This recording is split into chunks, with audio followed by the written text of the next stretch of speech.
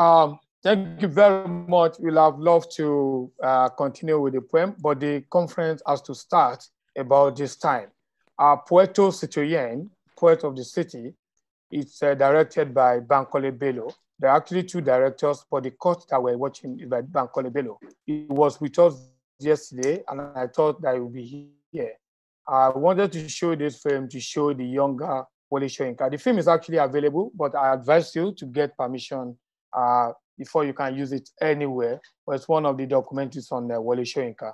We are uh, seeking uh, permission to be able to uh, host it on the website so that you can also download it from there. Well, if you get it from somewhere else, I wouldn't know, but um, uh, we discovered it and we thought that it is something we should show on a spec day to show people how Wole Soyinka uh, started and all the journey that uh, the film is over one hour. Uh, so we, are not able to program that because it might become to look uh, uh, uh, boring, especially because of the poor network that we cleaned since yesterday, to which um, uh, yesterday I was apologizing profusely, and I was told by people that it's not necessary because uh, this is technology, and we know the challenges that we have all over the world about technology. One told me that even in the UK, they're having the same problem. So if we have opportunity uh, within the next two days, we'll be able to bring that up.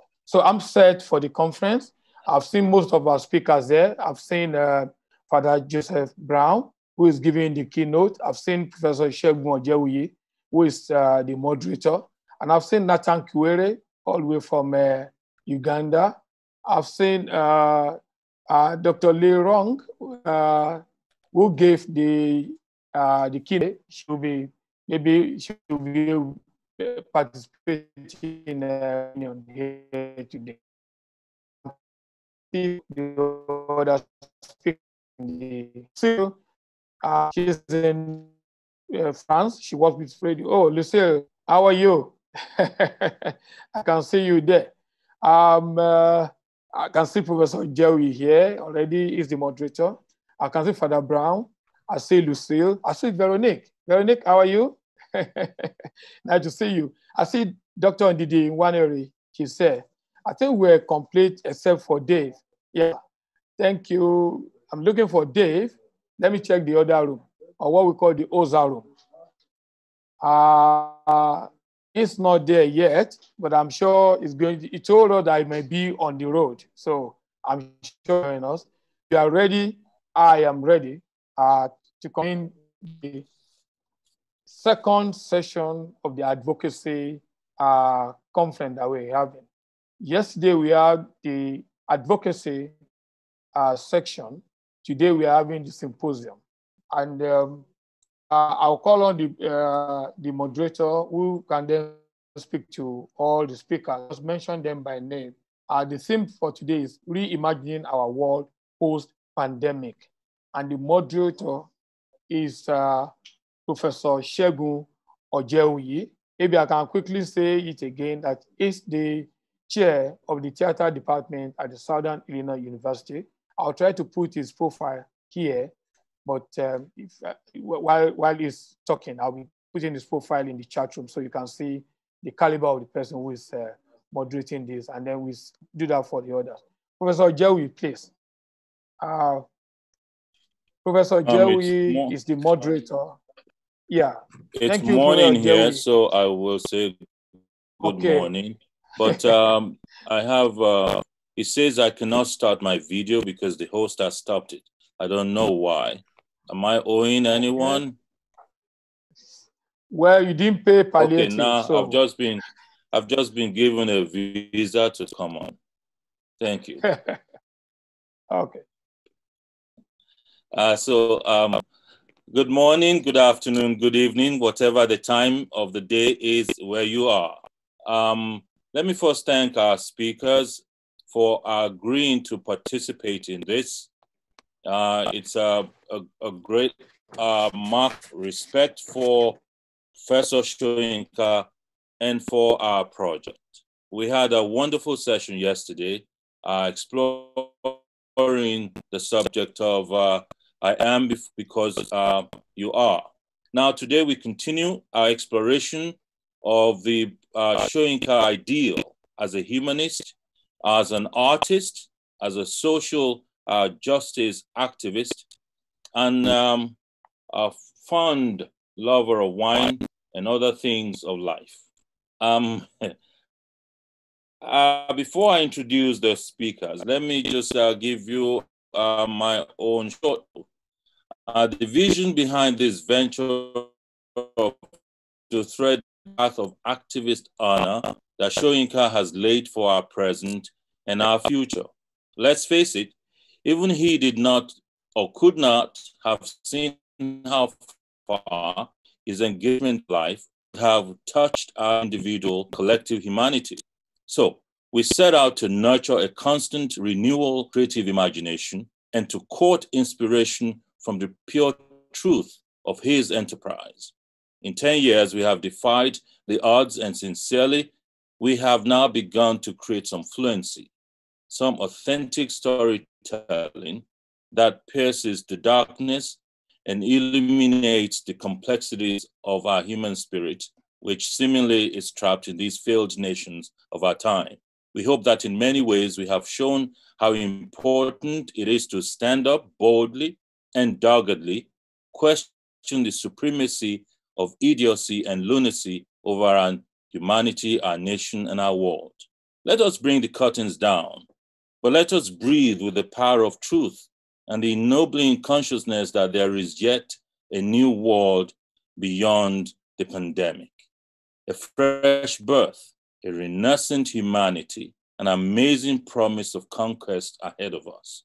Even behind our masks, like new age egunguns, that's masquerades, let us confront this virus, this COVID of the cursed year of 2019, as a mere intermission let us now challenge the two paths laid out in front of us.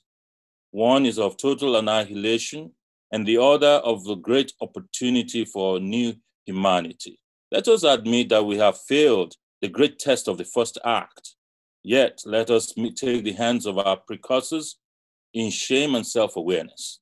Let us go to the mountain top where the Congress of Ancestors will guide us back to life and a renewal of no cheap feats. There is promise.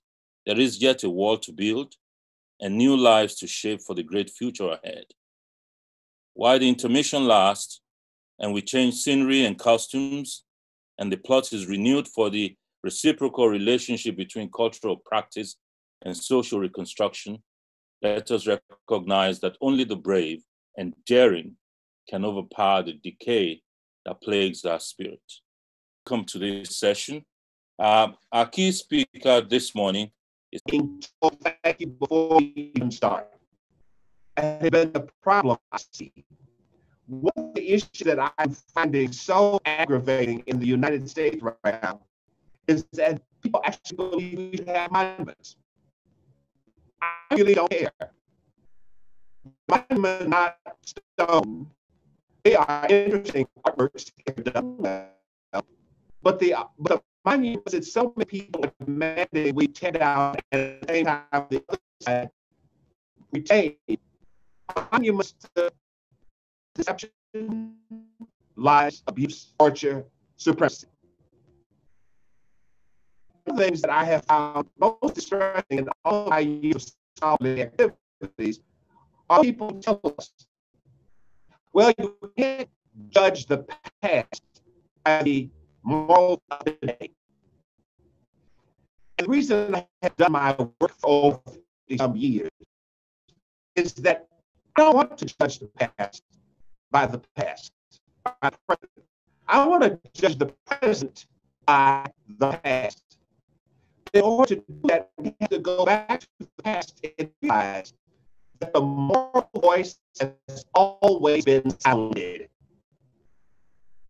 And therefore, those people who are, so let's be quite honest about it, white, Protestant, Catholic, etc., supremacists who came drain the life and culture of a continent to do that for the addiction to economic security can never, ever be satisfied. They have always said, well, you can't judge us by your standards. The reason, the reason we celebrate this day of blessing, the birthday of Soyinka, is that we can judge anybody because we have the authority of our experience, and the authority of our experience is we have not been destroyed by systemic racism. We lost our determination to, as I say elsewhere, resist, persist, and transcend.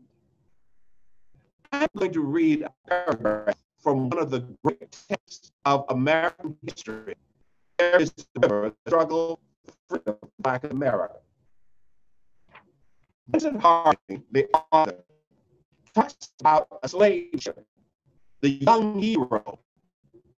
And in this paragraph, there's so much that ties into what we in the the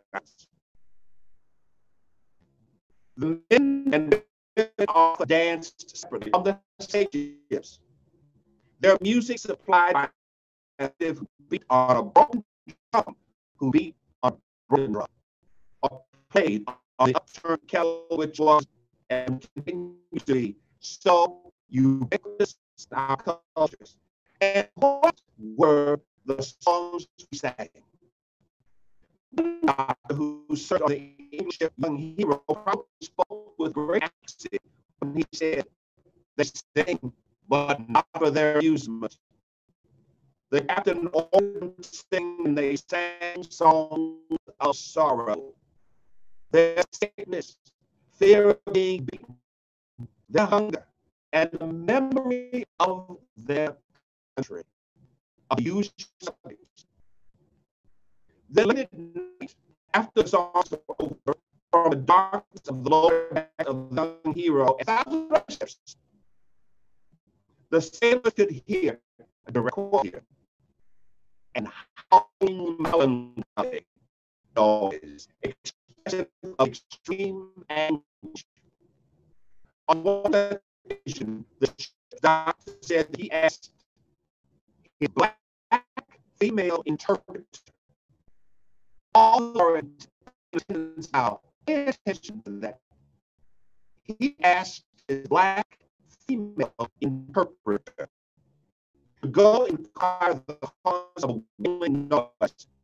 According to the doctor, quote, she be owing to the having dread that they were in their own country and finding themselves awake in the hold of slave ship. They dreamed of their home. All of Black culture in the diaspora is based on dreaming of home. Continual, perpetual exile from home does not mean that we have forgotten home. And for them to be crying and wailing, locked and chained in the filth of the slave ship, they dreamed. In their dreams, they were at peace and in the waiting state, they were in a nightmare. Tell me, my sisters and brothers, how is that any different from what we are facing on this planet today? They made sounds. It always astonishes me whenever I read that passage to know that as we were chatting in the chat room for languages the you know, in the film, he about sometimes to me in sometimes it comes to me in and we have the multilingual culture came across the water. The slave owners, the traders, the ship's captain and crew, devised ways to keep those people from talking to one another. They had sound they performed a way to ameliorate the nightmare. And as I tell people over and over and over, changes they were in their own filth.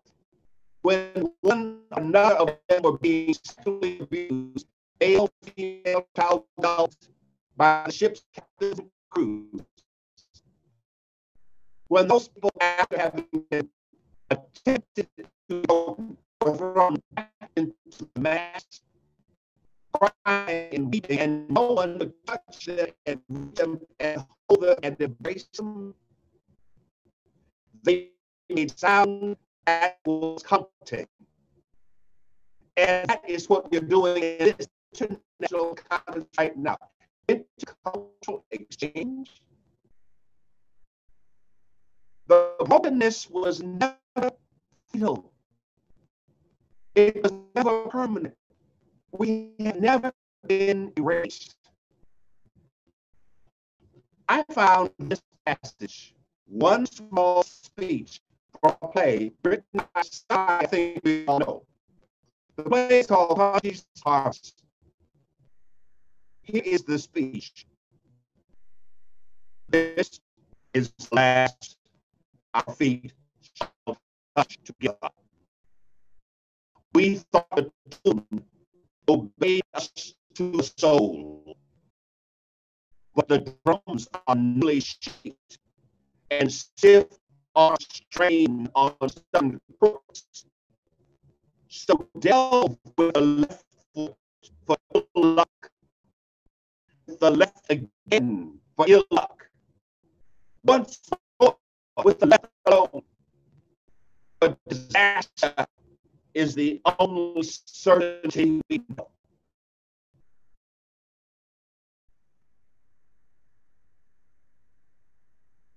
That is commentary, oppression, and one part of Africa. But that commentary on what happened to those slave ships or in those holding pens before they put on those ships. Places carrying all across the Atlantic where they were broken to be more submissive, therefore more economically viable. So dance with a left luck. And that's again, for disaster is the only certainty we know. Well, actually, it's not the only certainty we know. We know a sound howl but we also know the articulation of the dream home. And this passage, from one day to another, we must understand, and this is my main for this conference. The artist must be revolutionary, and every revolution must led by artists. We act out, we perform, we sing. We do that which in my tradition is the ultimate act of power.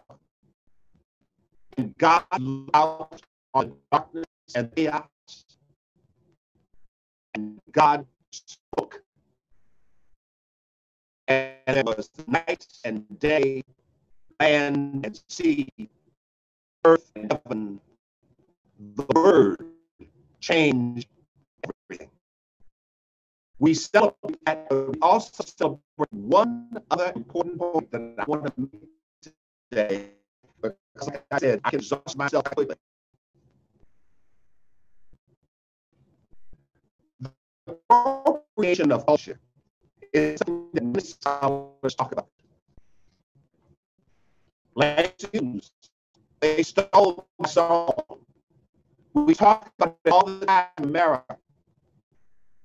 Because the greatest joy of accomplishment of any African artist, no matter where he or she is found, is that, that the real appropriation is to gather all the elements that are necessary and nourishing and and liberating put them into the tapestry that is unique to us take my rhythm. Still to dance way you do. Your dancing will be dancing drums. Go ahead. But when we bring it back to us, we do it all over again. Now, here is the other issue. Every European scholar, theologian, economic exploiter told us what was true about us. I teach a course called Critical Issues. Here we are looking at lynching in the world. But now the revolution is that this, no matter how complicated and sometimes awkward the electronic world is, and I can see right now that you all are having problems with it, the victims are now speaking with the authority of our experience, and we are showing what has always been hidden in the darkness. We have now been called to claim our ancestral past, use our cultural gifts, and speak, as they have been saying forever, truth to power. For those who have held on to power as an addictive blanket are now being stripped naked by their own truth. And we are telling the truth. James Baldwin says it. The Negro, he having survived all sorts of terrible, terrible things, if he survives, and even if he does not survive it, something about himself in human life that no school on earth and indeed no church can teach. He achieves his own authority, and that is unshakable. We honor Wole Soyinka. We honor the cloud of witnesses, the gathering of the ancestors. We are instruments of survival, and we are called now to heal this world. Thank you. Thank you very much, Professor Brown. Um, the network was bad, and I'm, uh, I'm sure some of you must have experienced that uh, for the audio. And so I, I gave, uh, I allowed Father Brown uh, some extra minutes, you know, from the point where we could distinctly hear what um, he was presenting. Um, at the end of the session, when we come to the uh, Q&A and discussion session, I'm going to call on him again, you know, to uh, kind of fill us up on some of the parts. And I'm talking uh, for our attendees, uh, please ap- apologize, is the network. And I think um, the network is trying to survive under the pressure of COVID. So let's continue with, uh, uh, after that very uh, strong lead from Professor Brown. I'm now going to call on our next uh, speaker. And um, this is Mr. Dave's Goodza. Um, actually, it's Dr. Ndidi Nwaneri. Um, Dr. Ndidi Nwaneri has a master's degree in public policy from the George Washington University in Washington, D.C and a PhD in social and political philosophy from Loyola University, Chicago. And it is a public policy, social, and international development consultant. She is on the executive board of International Development Ethics Association, IDEA, has worked and studied in the Americas, Europe, and Africa. She has conducted research and taught courses in public policy, ethics, philosophy, international development, as well as business and military ethics at the university level. Her current research interest includes the relationship between global existential threats, for instance, pandemics, global justice, and equity, whether at the individual, social, or global level. I consider, she says, all forms of injustice as crises that should be addressed urgently. believes that the greatest tool per persons have that is, is their ability to think. It's a pleasure to welcome Dr. Ndidi Nwaneri. Um, hello, everybody. Thank you for having me. And um, so I'm trying to open up my um, presentation. If you just give me a minute. Okay, so my presentation is based on around the theme of reimagining our humanity post-pandemic. And um, it is not going to be a direct response to the keynote speaker, but I just want to talk about the, the idea of Ubuntu is what I'd like to focus on. So one of the ways that we maintain psychic unity while exploiting others on any level, whether global, regional, national, or community, or even in our households, is to maintain the myth of ourselves as individual and independent. Then we come across a term, Ubuntu, I am because you are, a term that makes us feel good and warm all over. But um, sorry, I come bearing bad news. Ubuntu is how persons have always been. Therefore, to me, I am because you are, Ubuntu is a truism.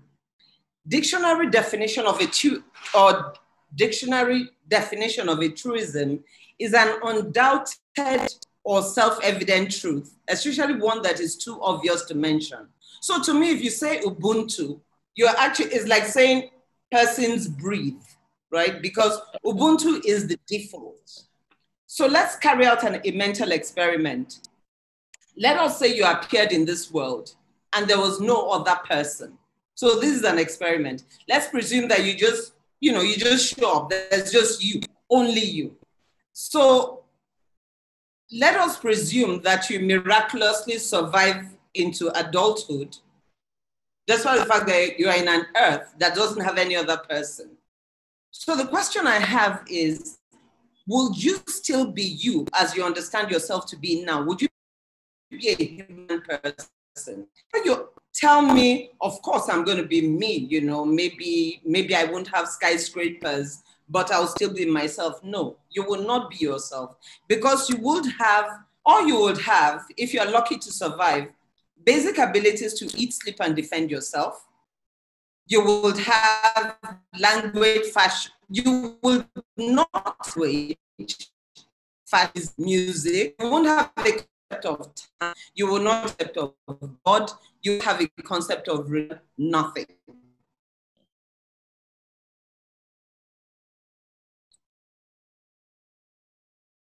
I'd like to check. Okay. Let me continue. So you will not be aware of some of the most basic things you now take for granted. For instance, combing your hair, nodding your head to mean yes, you will not have that. So if you will not have that, if you do not have that, will you still be a person? You might be a person, but certainly not the kind of person you are now.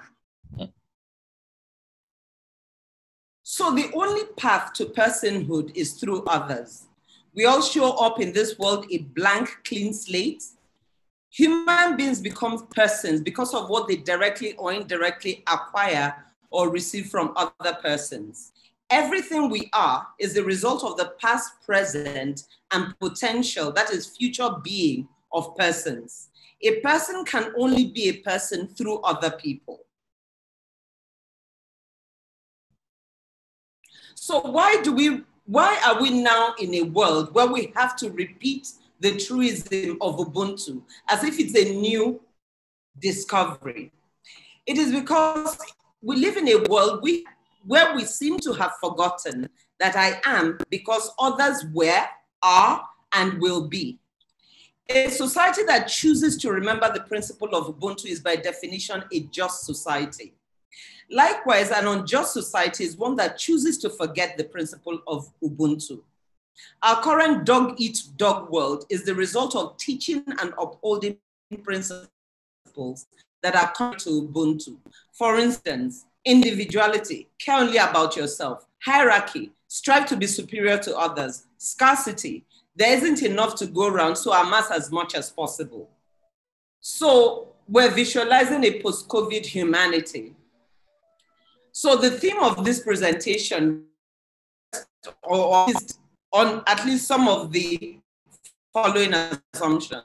The first is that majority of human majority of humanity are rational. The second is that most of us spend spend at some of our respective lockdown periods in reflection, and that those reflections led to thinking that prepared us to, um, sorry, Father, repent of our evil ways by working towards a better world for all, right?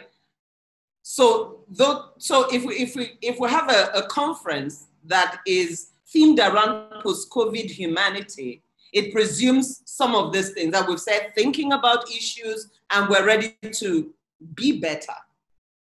So, what is the past? As of defend, as of December 2019, difference, color, religion, national ethnic belonging, etc., was a major determinant to how we related to others. Second thing is that despite the rhetoric, we were increasingly exploiting and polluting the earth. We were producing and wasting more than we were utilizing. And this is key. We, we, we increase production, but we waste so much that we still have lack. In general, we bought into the myth of scarce resources in a world in which both global economic production and lack, as in poverty, were both growing simultaneously in tandem. Not only were we producing more, we were getting poorer, right? So, what is the present? Near global lockdowns led to drastic reductions in global production, consumption, and pollution. Global solidarity displayed in the aftermath of some of the recent occurrences um, could become a global standard. We could be approaching a world of zero tolerance for injustice. These are the possibilities that the last few months have created for us. However, old habits die hard. I believe that COVID choked, but did not kill that, that, that refusal to accept that I am because you are. I don't think humanity has shed its collective skin and has emerged as post COVID butterflies. No, I don't think so. I feel that the potential is there, but we have to realize what we gave up, what, what, where we are. So, COVID lockdown caused us to conduct a social experiment that we could never have done, right? For instance, a lot of us okay, I won't pick up on any gender, but maybe some of us have realized that we don't need all the clothes in our wardrobe, right? Some of us have realized that we can actually live simple lives. Um, some of us have realized that solidarity is important, that we can't just sit by and watch injustice. But I don't feel that a post COVID world, the type that we glimpsed, right, reduced waste, reduced um, um, pollution, um, some of the things I've mentioned, I don't think it's automatic. It's not inevitable. We need to work on it. So, in conclusion, a lockdown will give us a glimpse of what is possible. But, but it also, but that glimpse creates a duty and responsibility to turning that vision into reality. And that's my presentation. Thank you very much.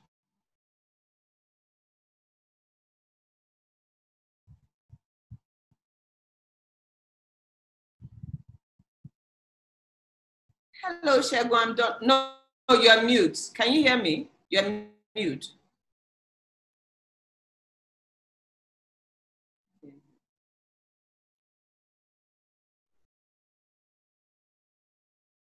We can't hear you, Shegu.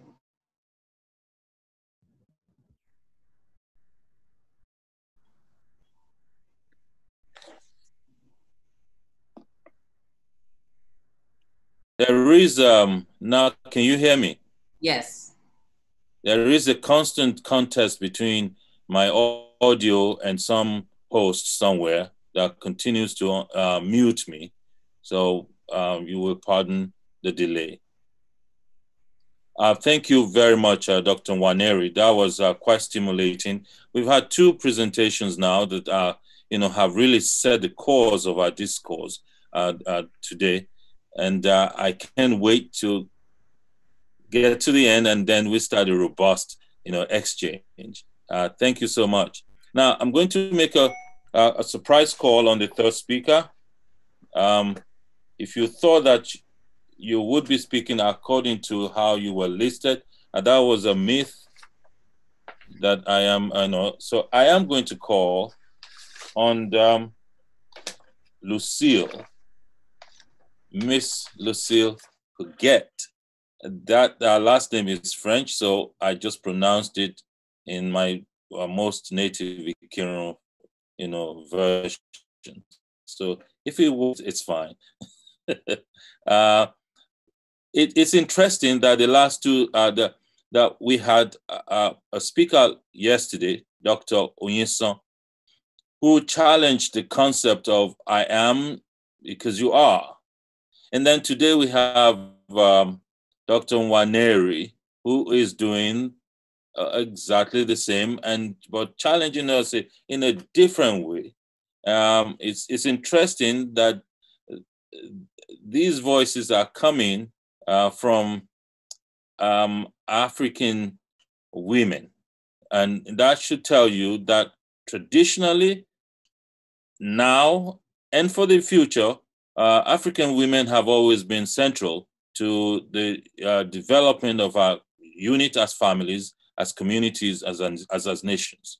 So if there's a renaissance coming, uh, please, we, you know, we look to uh, our women. I just, just a, a note there. So, and that was to give Lucille some time to, you know, to be ready. Um, let me find the,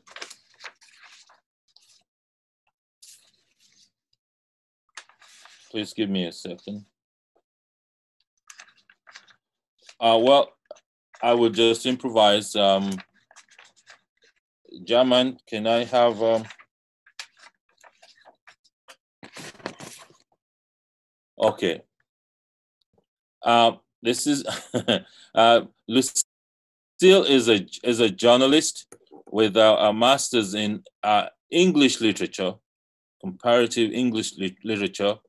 Um, studied in I cannot pronounce the school in in France. Uh, she's coming to us from France uh, right now. Um, she's also uh, a keen student of Wole Soyinka. And in 2016 or so, or 2014, she was a part of uh, an international conference on Wole Soyinka at the University of Lagos, Nigeria.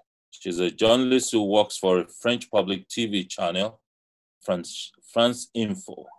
Um, she got a degree from the University of Caen. I hope I'm right in English literature, and uh, another Master of Journalism in France's oldest school of journalism, ESJ Paris. She was part of the Soyinka International Cultural Exchange in 2014.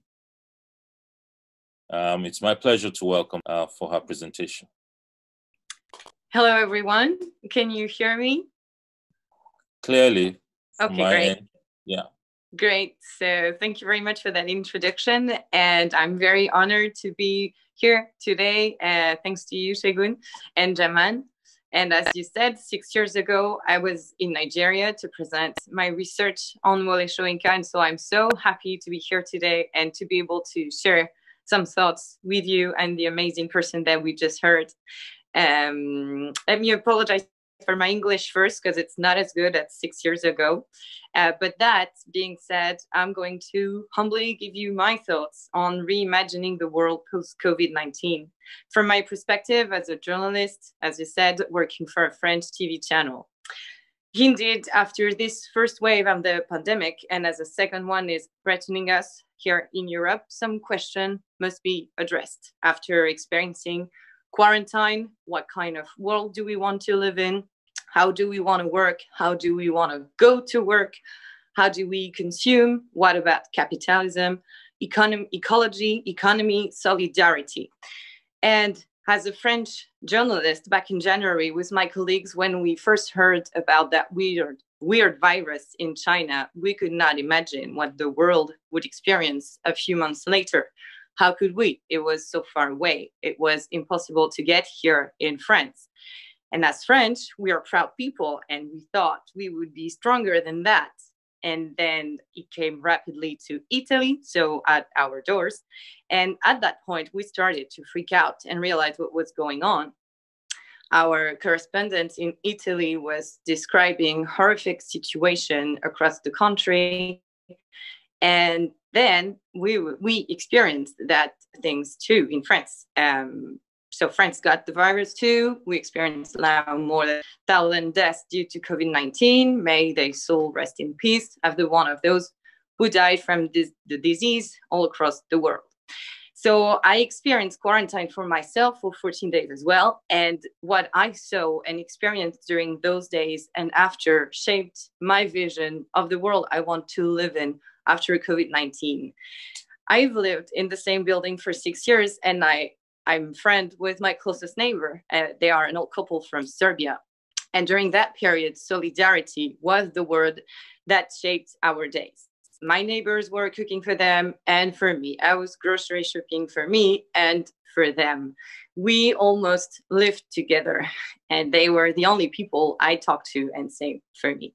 And globally in France, during that time, what we saw emerging is a, a general sense of solidarity. As a journalist, I remember, I can remember the numerous reports we have made on initiative that were set up by association or normal citizens.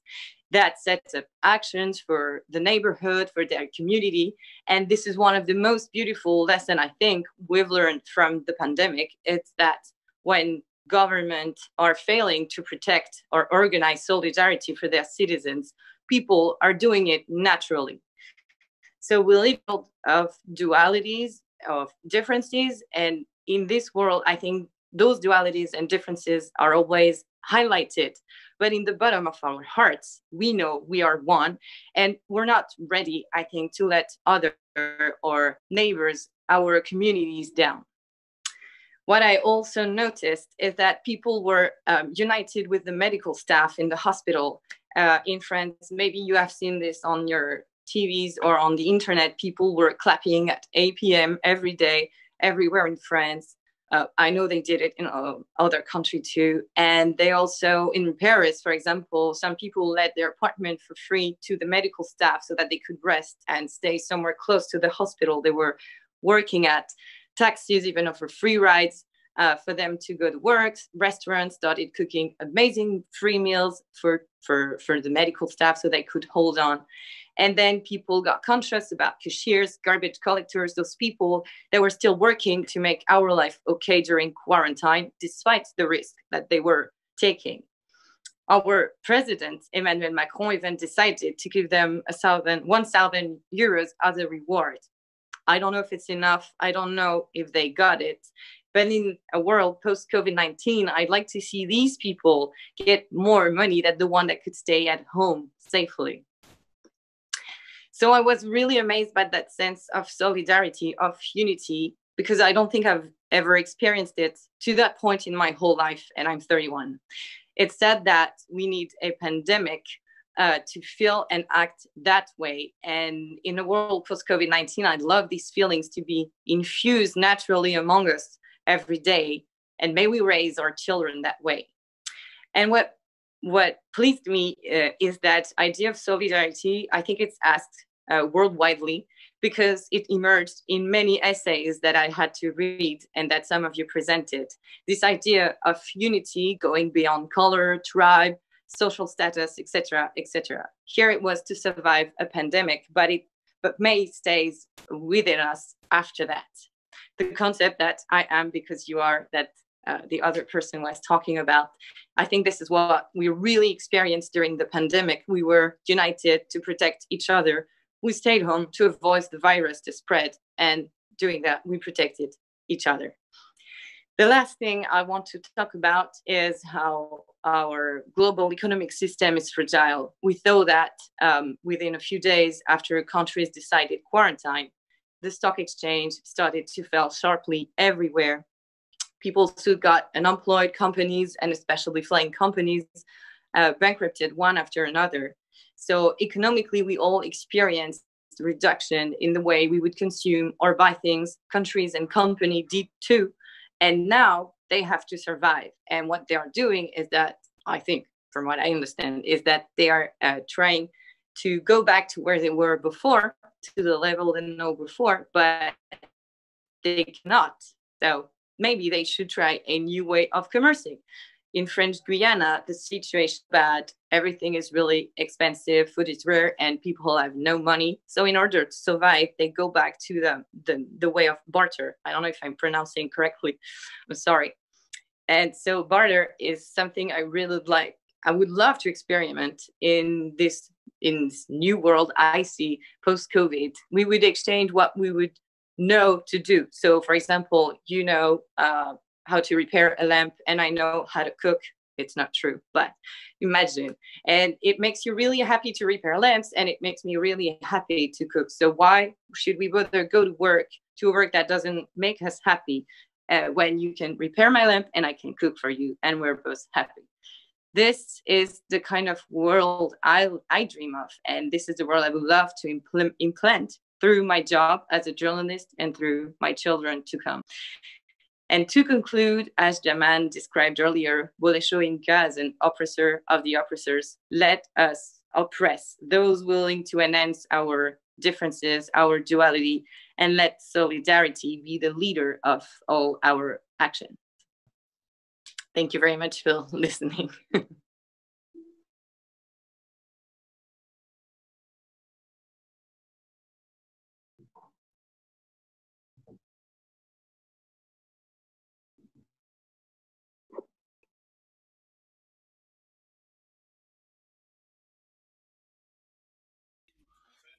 Uh, hello, hello. Yes. Hello. Please, all panelists have the right to unmute themselves. You have the unmute button uh, in front of you. You have the right to mute and unmute yourself. Thank you.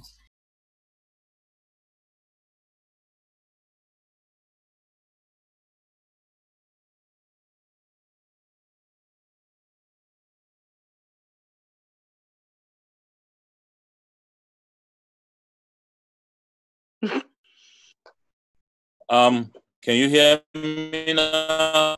Yeah. Ah, thank you. Yes, we hear you. Go on. Okay. Um, thank you, Lucille. Um, that actually set us in a, in, in a, a right, different uh, direction. I, you know, quite enjoy the perspective, and you spoke uh, as a journalist, compartmentalizing you know, the topics and uh, kind of broadening our minds from the just intellectual, you know, um, exploration into a world of reality. Um, thank you. So let's uh, move on uh, very uh, uh, quickly. Um, our next speaker is going to be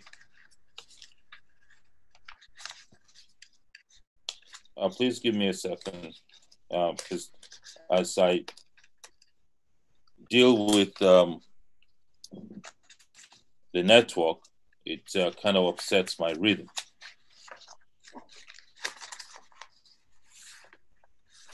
So the next speaker I'm going to call on is uh, Mr. Daves Guzha from Zimbabwe. Um, are you there? I see he is muted and he's um, He's also not on video, but I see he's is on. Yeah. Finally, somebody gave me permission to unmute myself. Exactly. That's welcome to my world. Uh, uh, do you have I, your video? Are I we... think somebody is. It's also stopped. I think there is um, power dynamics here. So whoever is the host is the one that actually is supposed to be doing that because I yeah, and the host tells you, as he has done to me, that he is also not in control. Yeah, maybe somewhere along the way, because I've tried to unmute this camera, this video. We can hear you. Now. Can everyone else hear him, please? So we will just start. Uh, you keep trying your book, but we'll start with uh, your when you are successful with the video. We'll get to see your face because we want to see your face. Uh, but you see, this is just a thing in this COVID times. Thank you very much. Thank okay. you very much. Uh, Daves Guzha is an actor, director, producer, administrator, and social justice activist. Guzha, in addition to directing and producing plays, films, and TV series, has starred in over 20 plays and 15 films. He's the founding artistic director of Rooftop Product Promotions based in Harare. Guzha is a career uh, in a career spanning over 35 years, has created unique theatrical styles that incorporate elements of activism, civic education, and dialogue. This style often culminates in a dialogue based event designed to address political and social issues with indirect name and shame strategies. Name and, and shame strategies. He constantly endures censorship, arrests, and intimidation from the nationalist regime due to his anti establishment stand. He served as the regional coordinating director and board member of the Artists Trust of Southern Africa from 2000, 2009 to 2011. And in 2018, he was appointed chairman of the Pan African Cultural Congress Bureau, 5, a unit of the African Union. He also support of the African Culture Fund as a member.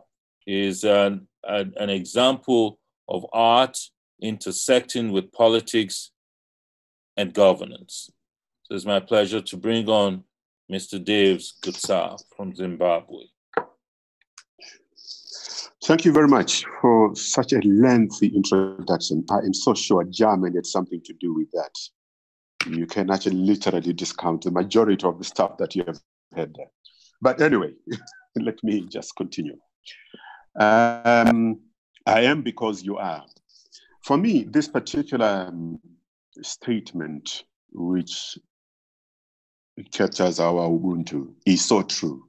It's so true because I'm going uh, to just a, into... just a second. We uh, some of us are seeing a blank screen here when it's supposed to be screen sharing. So we cannot see you. We cannot see what is being shared. Ah. Good. Now it's on. Now it's on. Yeah. Thank you. You can continue now. Ah, thank you. So I was saying, I am because you are. For me, it's um, it resonates very much within my own personal experiences. In 1986, when I formed the institution that I lead today, it's also the same time that uh, Professor Wole Soyinka happened to have won the Nobel Prize for, for, for literature. And as a young guy, I was then 19 years old. I was pretty ambitious. And I wrote to him a letter and uh, I invited him to Harare so that he could actually see me perform in one of his most dynamic plays, which is called The Trials of Brother Jero. He was uh, kind enough to respond. And I still treasure his response up to today. I still have the letter, by the way, where he basically said, I wish I could, I could make it, but unfortunately, my schedule does not allow it. However, you may do your five performances without paying royalties to me. Wow. So, for me, a 19 year old who had just stumbled upon his work because he had won the Nobel Prize. And his, his work also set the tone to start doing a lot of work written by my own people. So it, it, it really gave me that very warm, fuzzy feeling of experiencing Ubuntu in its truest sense. On that note, I would like to wish you, Prof. Soyinka, a happy birthday, by the way, before I forget. So, Um, him having shaped quite a lot of the work that I was to find myself doing, moving on from Trials of Brother Jero to Madman and Specialist to a uh, Play of Giants and to various other works that he had actually done, gave me hope, gave me a lot of hope in my own kind, gave me a lot of hope in humanity.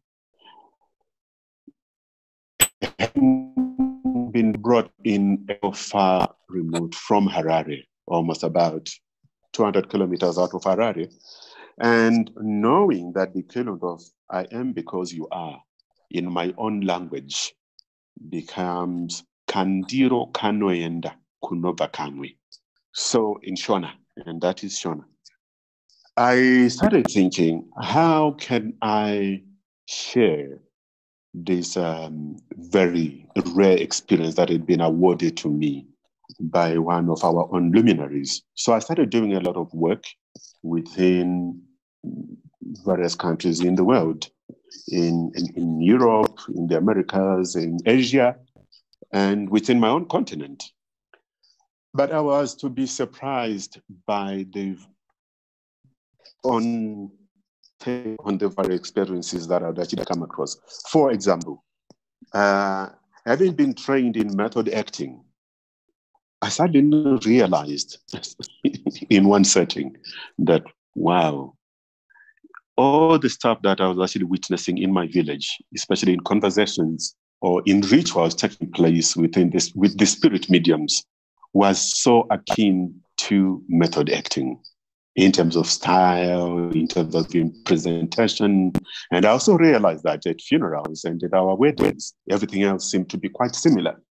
So the key question for me then became why are we not sharing some of these unique experiences that we actually have as a people on the global scale. How can we push our voice within a global perspective and also be heard?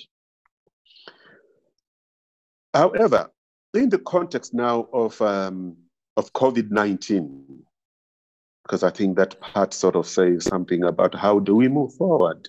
What is in post pandemic? Yeah.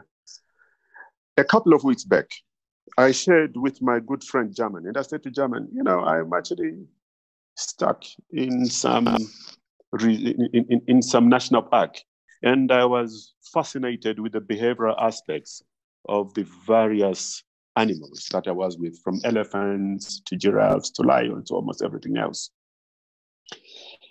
And it kind of made me think here we are, we've gone fully back to factory settings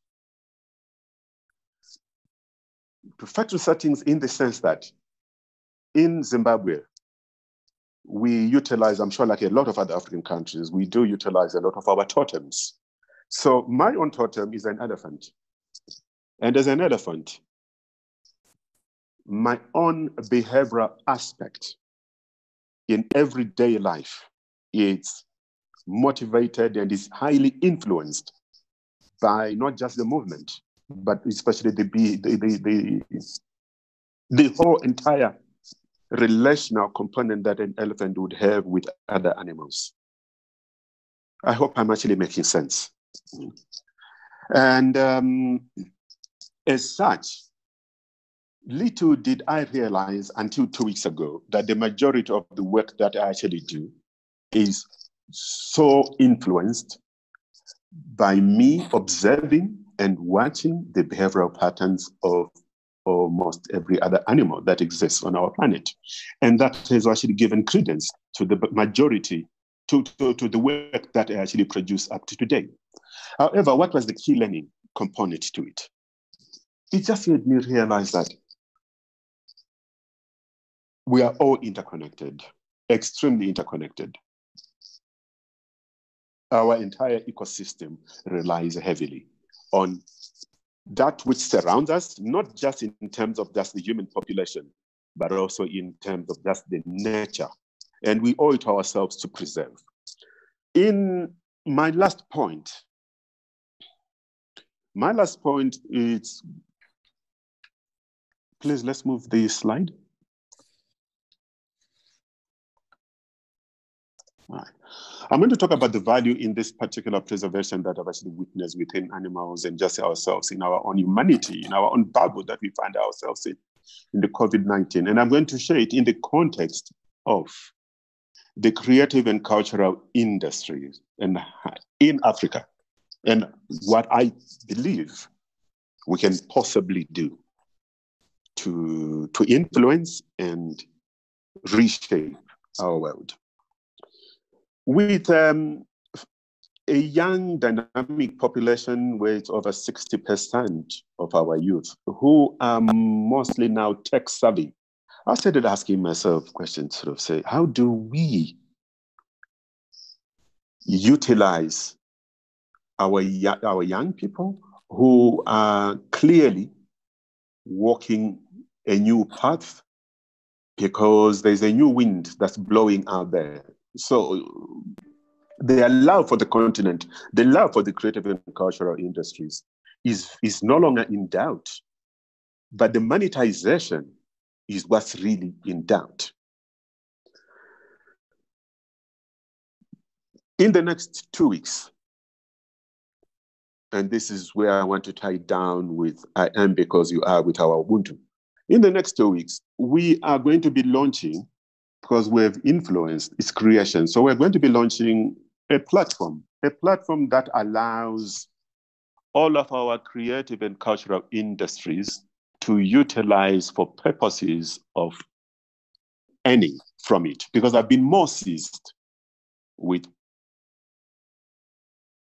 all the various platforms that today, whether we are looking at YouTube, whether actually looking at Zoom right now that we're actually using right now, or whether we're actually looking at um, Facebook or any of the other platforms, where we seem to be just throwing in a lot of our own creative content with z- almost zero return. So I'm more concerned about how do we issues of copyright not so much infringed upon, and that the continent itself can, the creators from the continent can harness and make a living from that. Thank you. Um, thank you very much. Um, it's um, first, it's uh, great to have um, uh, professors and journalists, and now in the realm of the arts. As uh, Dr. Brown just shared with all the panelists, uh, all artists are revolutionaries. And so it's, uh, I could hear the undercurrent in uh, Dave's presentation. So I will move on now to our next speaker, who is Veronique. Dr. Veronique Maisier, who teaches, um, again, another French name that um, I must have with just now. You're fine. well, it's payback time because, they, you know, eh, people mess up my last name too. So, um, Veronique uh, uh, teaches French language conversations and phonetics, as well as French and Francophone literatures and Cultures at Southern Illinois University in Carbondale. Her teaching also includes courses on French literature in translation, such as masterpieces of French literature and women in French and Francophone literatures. She earned her PhD in 20th century French literature from the Sorbonne University in Paris, France. Dr. Maisier's research interests of late have focused on Francophone and Anglophone Caribbean literatures, and more specifically on the presence of violence in Caribbean narratives. She has public, published book chapters and articles on Caribbean law and on the French Caribbean authors Gisèle Pineau and Patrick Chamoiseau. Good. I'm doing good. In Nouvelles Études Francophones, Journal of West Indian Literature and French Literature Studies. A monograph, Violence in Caribbean Literature Stories of Stones and Blood, was published in 2015 in the Lexington Books series After the Empire, the Francophone World, and Postcolonial France. Uh, Dr. Maisier is a member of the College of Liberal Arts Council at uh, Southern Illinois University and is a, a vocal activist present um, in our intellectual world. It's my pleasure to welcome Veronique uh, to our session. Thank you, Segun, and uh, my apologies for all the French words you had to pronounce there. Um, I'll come for some lessons. uh, first of all, I would like to thank uh, the organizers for their invitation to participate in this conference. Uh, I am honored to be part of an event organized in celebration of the life and work of writer and activist um, Wole Soyinka. Uh, and I am happy to take part in a conversation around the subject of reimagining our world post-COVID-19. In order to provide a little framework to my talk, I will start with a few words about that ambiguous post prefixed in post-COVID-19. Uh, what does post-COVID-19 mean? Does it mean picturing the world after we've made it to the other side of the pandemic? After we go back to our usual lives, with the images of the crisis becoming more and more faint, as they tend to do after even the most shocking natural or social disorder, uh, sorry, disaster? Or does post-COVID-19 in fact mean with COVID? once we have accepted COVID as a long-term feature of our lives, something that is going to stay with us in one form or another for a long time. Does reimagining our world post-COVID mean picturing a world in which social distancing, facial masks, and constant precautions Keeping these questions in mind, I would like to approach the topic with two different sets of remarks. First, I would like to talk as a concerned citizen uh, about COVID-19 as a disaster that is also a revelatory crisis. A crisis that creates a new world and therefore an opportunity to reimagine our world because of everything it is telling us about the old one. In this reflection, I am influenced by an article published by Dominican American writer Junot Diaz in the Boston Review. An article written in May 2011 as a response to the uh, earthquake that took place in Haiti on January 12, 2010. In the case of Haiti, the earthquake as an apocalyptic event exposed societal problems that had long existed, but had remained for most of us out of sight, existing, I quote, behind veils of denials, says Diaz. One of the things often revealed by catastrophes is the conditions that were in place for that catastrophe to occur in the first place. If you think about it, not that much was required early on for COVID-19 to not become a global pandemic. Looking into the conditions that made COVID-19 possible brings up the questions of responsible leadership, of the crucial flow of information, and of the value of solidarity on a global scale. Yesterday, Dr. Oyin Tan pointed out in her important talk the necessity for a global Ubuntu, for global recognition of the other's humanity in order to secure our humanity. I would like to mention the need for a global recognition of the other's health in order to secure our own health. I am healthy because or if you are healthy. COVID-19 makes visible the need for a globalized health approach, maybe a new and improved WHO, but an approach that would have two essential missions. Fight against the inequalities that are making health and life a class privilege rather than a human right, and provide a transparent fair and equal response to health crises around the world, as opposed to piecemeal decisions made by individual governments that are not always concerned with the population's best interests. It seems to me that the creation of a global health approach based on the values of leadership, information, and solidarity is increasingly becoming a question of global survival in our uncertain times. My second set of thoughts goes off in a completely different directions uh, and is literary oriented. As a student and teacher of literature and cinema, I have been thinking about COVID-19 as a new phenomenon, possibly as a new norm, that will or should logically have repercussions on literature and cinema years to come. Confinement has meant for me, and I suspect for many people, watching way too much TV.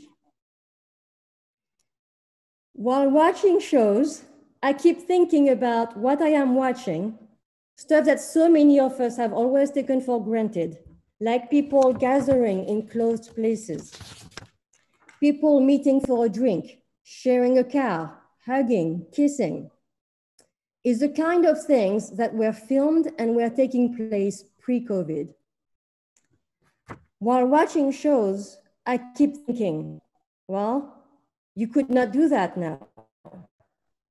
I am painfully aware that our reality is experiencing an apocalyptic event. Understandably, literature and cinema have not yet caught up with COVID. But I wonder, how or when or when will cinema studios be able to make a movie or a series again? How will they be able to gather a whole bunch of people on a TV set in a studio? These are logistical questions Perhaps the subject matter questions are more important.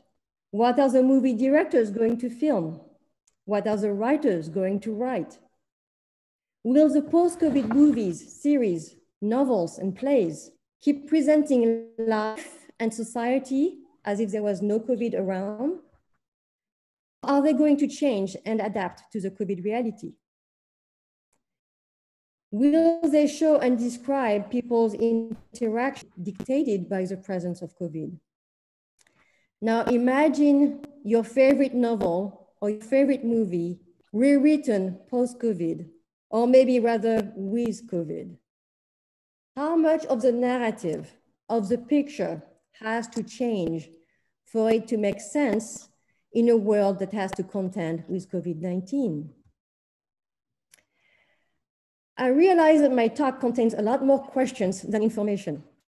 I'm afraid I'm still processing the new reality and the impact that COVID-19 is currently having on our lives and on our world.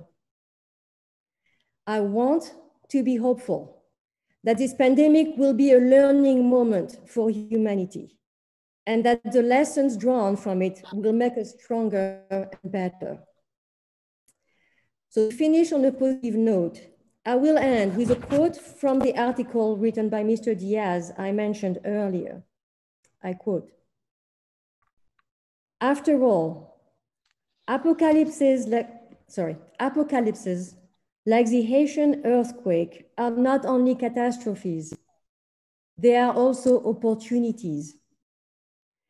Chances for us to see ourselves, to take responsibility for what we see, to change. One day, somewhere in the world, something terrible will happen. And for once, we won't look away. End quote. Something terrible has happened. Again, let us not look away. Thank you. Thank you very much. That was, uh, you know, uh, very succinct and uh, of course, yeah, you raised a, a, number of questions, but these are pertinent questions that we, you know, must uh, contend with uh, from now and into the future. So I, I thank you for that presentation. Now I'm going to uh, move on to uh, our last speaker, but not the least, as they say, um, Nathan Kiwere. Uh, Nathan has a bachelor's degree in industrial and fine arts from Makerere University, Kampala, Uganda. He studied film and, and uh, film festival and event manager at World Academy in Berlin, and um, later enrolled for film production at the One Day Film Workshop in Nairobi.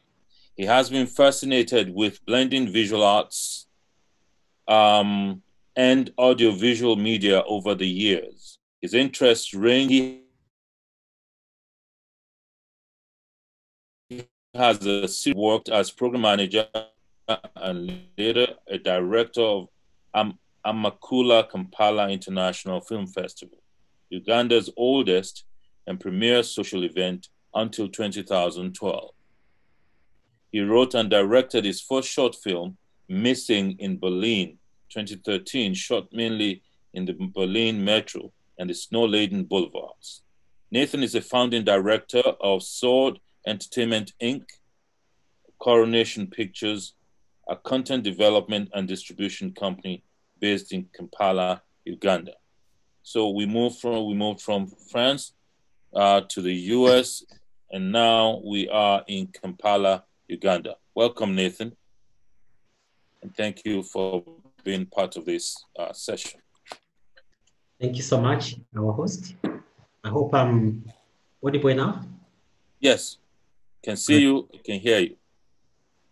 Uh, good evening, everyone from Uganda. It is uh, 6.22 p.m. here. Good morning.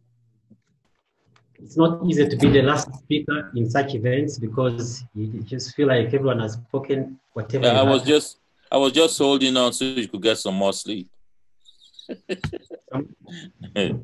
okay. All right.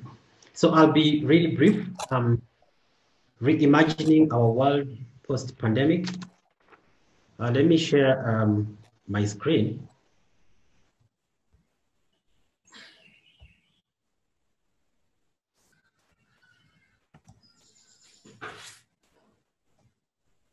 Can you see it? Yeah.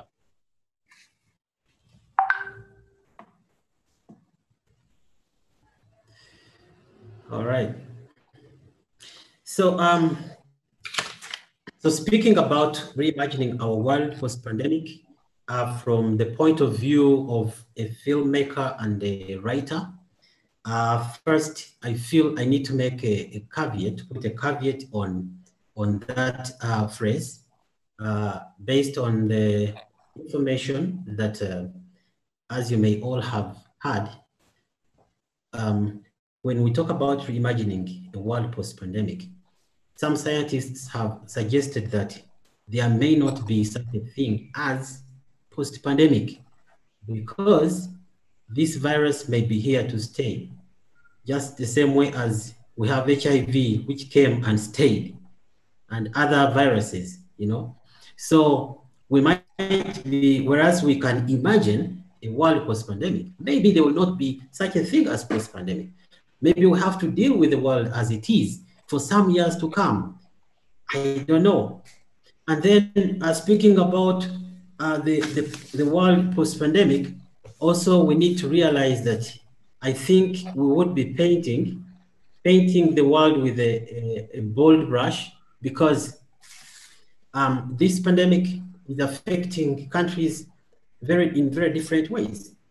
Uh, we hear all the statistics coming in from the Americas, from Europe, uh, the new um, the new infections and the deaths. And indeed, they're very harrowing. But I can tell you here in Uganda, we have no more than 1,200 of which about 90 are already healed, cured, and uh, there is no death. So if the World Health Organization declared that there is no more uh, COVID-19 in the world, I think you, as Uganda, we'd be able to go back to our old lives quite easily. But I can't say the same for those in France or those in America or Brazil. So I'm a bit cautious. I have to use that phrase with some caution, uh, talking about post-pandemic and then uh, our world. That being said, um, there is no doubt that uh, the foundations of the status quo as we knew it have been shaken out of their joints and likely the world may never be able to go back to what it was before. That is a given. But what do we learn from that? I got an interesting uh, quote from an writer. His name is Arundhati Roy, who wrote that the pan- he wrote uh, in, under the topic "The pandemic is a portal," and he says that historically, pandemics have forced humans to break with the past and imagine their world anew. This one is not different. It is a portal, a gateway between one world and the next. And uh, going forward, I pose a question. What we experience uh,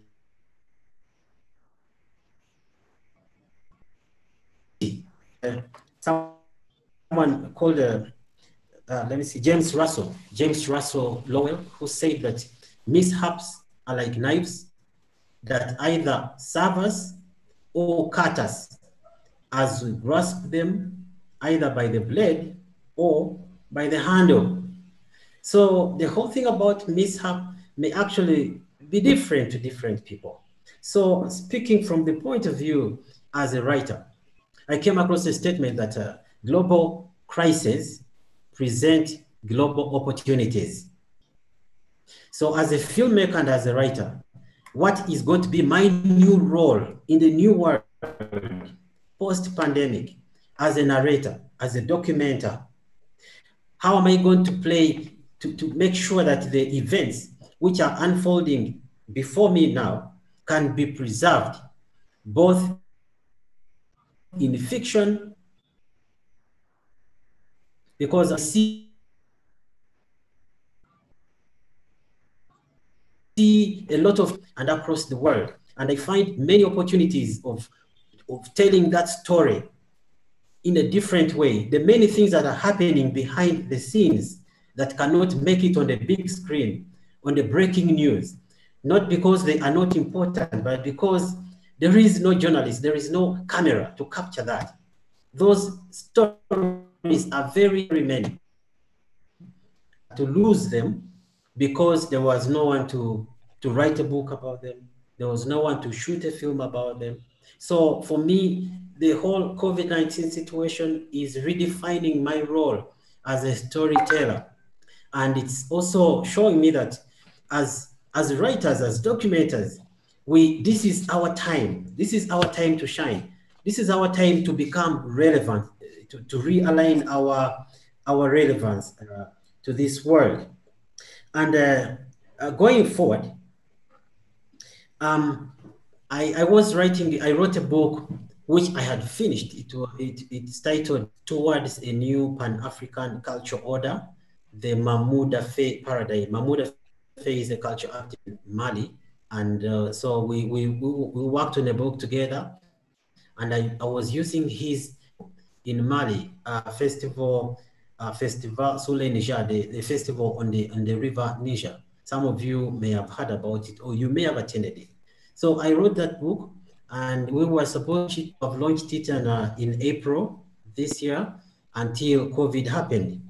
And because of the many things that are changing, yesterday I wrote to him and I and I asked him that, look, we, we, we are going to have to rewrite. We published and, and launched it now, it would be completely obsolete because now things have changed. In hear from him that look, um, the way we so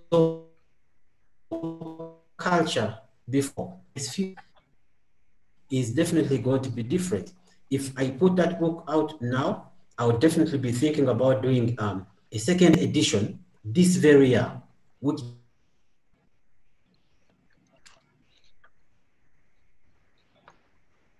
didn't make sense to me. So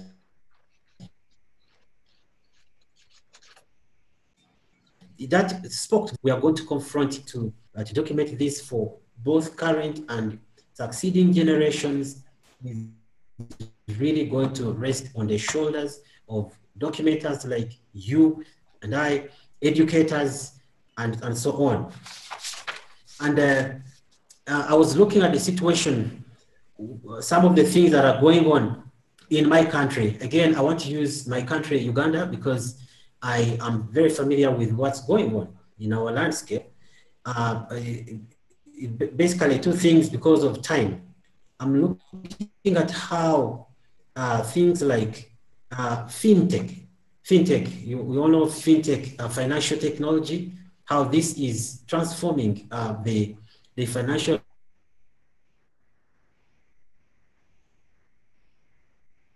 landscape, uh, financial and innovation and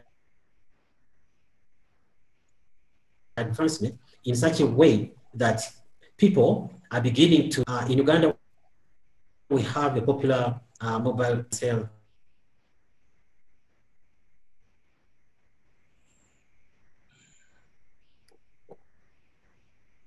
we wait through your mobile phone. Uh,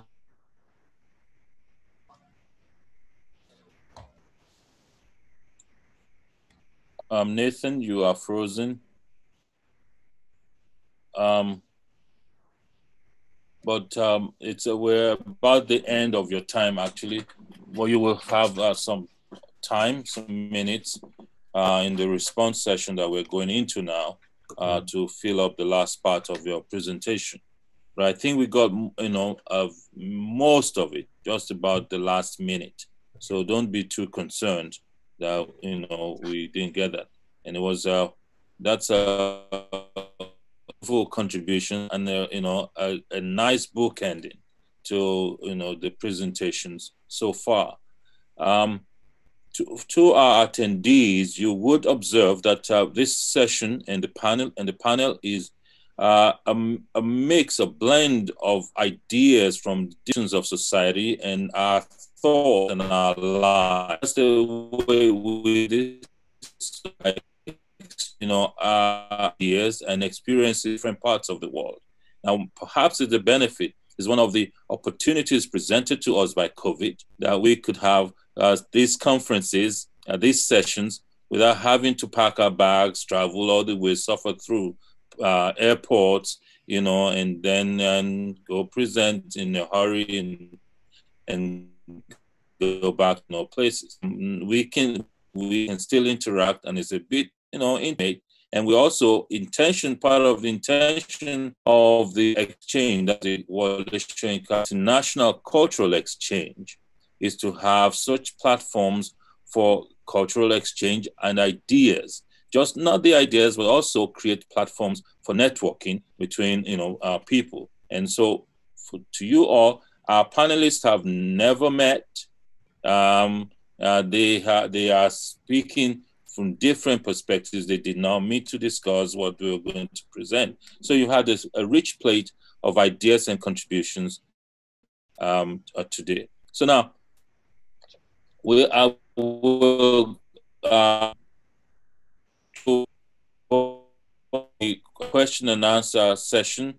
But before I do that, I promise to give uh, Dr. Brown, Professor Brown, uh, two minutes um, to fill in on some of his thoughts that were suspended uh, in his first presentation. But since I don't really know what you didn't hear, I don't know what to say as a fill-in. That is true. So uh, just um, I can well, answer questions, and I have answered a couple in the chat room already. Um, my basic premise was this: that there is no past. There's only present that keeps us in the forefront. And I was amazed at how many of the other panelists echoed things that I was saying because what you just said is so true. We did not know each other. We do not know each other, but we're all talking in the very same conversation, which was my point. And the other major point I tried to make was that all of art is a revolutionary act. The whole notion of politics is someone stands in the space of the public space and calls strangers together by a sound, a word, a gesture, a performance. We create community. That is what theater does. That is what symphonies do. That is what drumming does in the middle of a village we are all revolutionaries when we are acting out of our imagination. And right now, in this world of viruses, is safe, secure, and respectful for all. And we got to create that by dreaming it. Thank you. Um,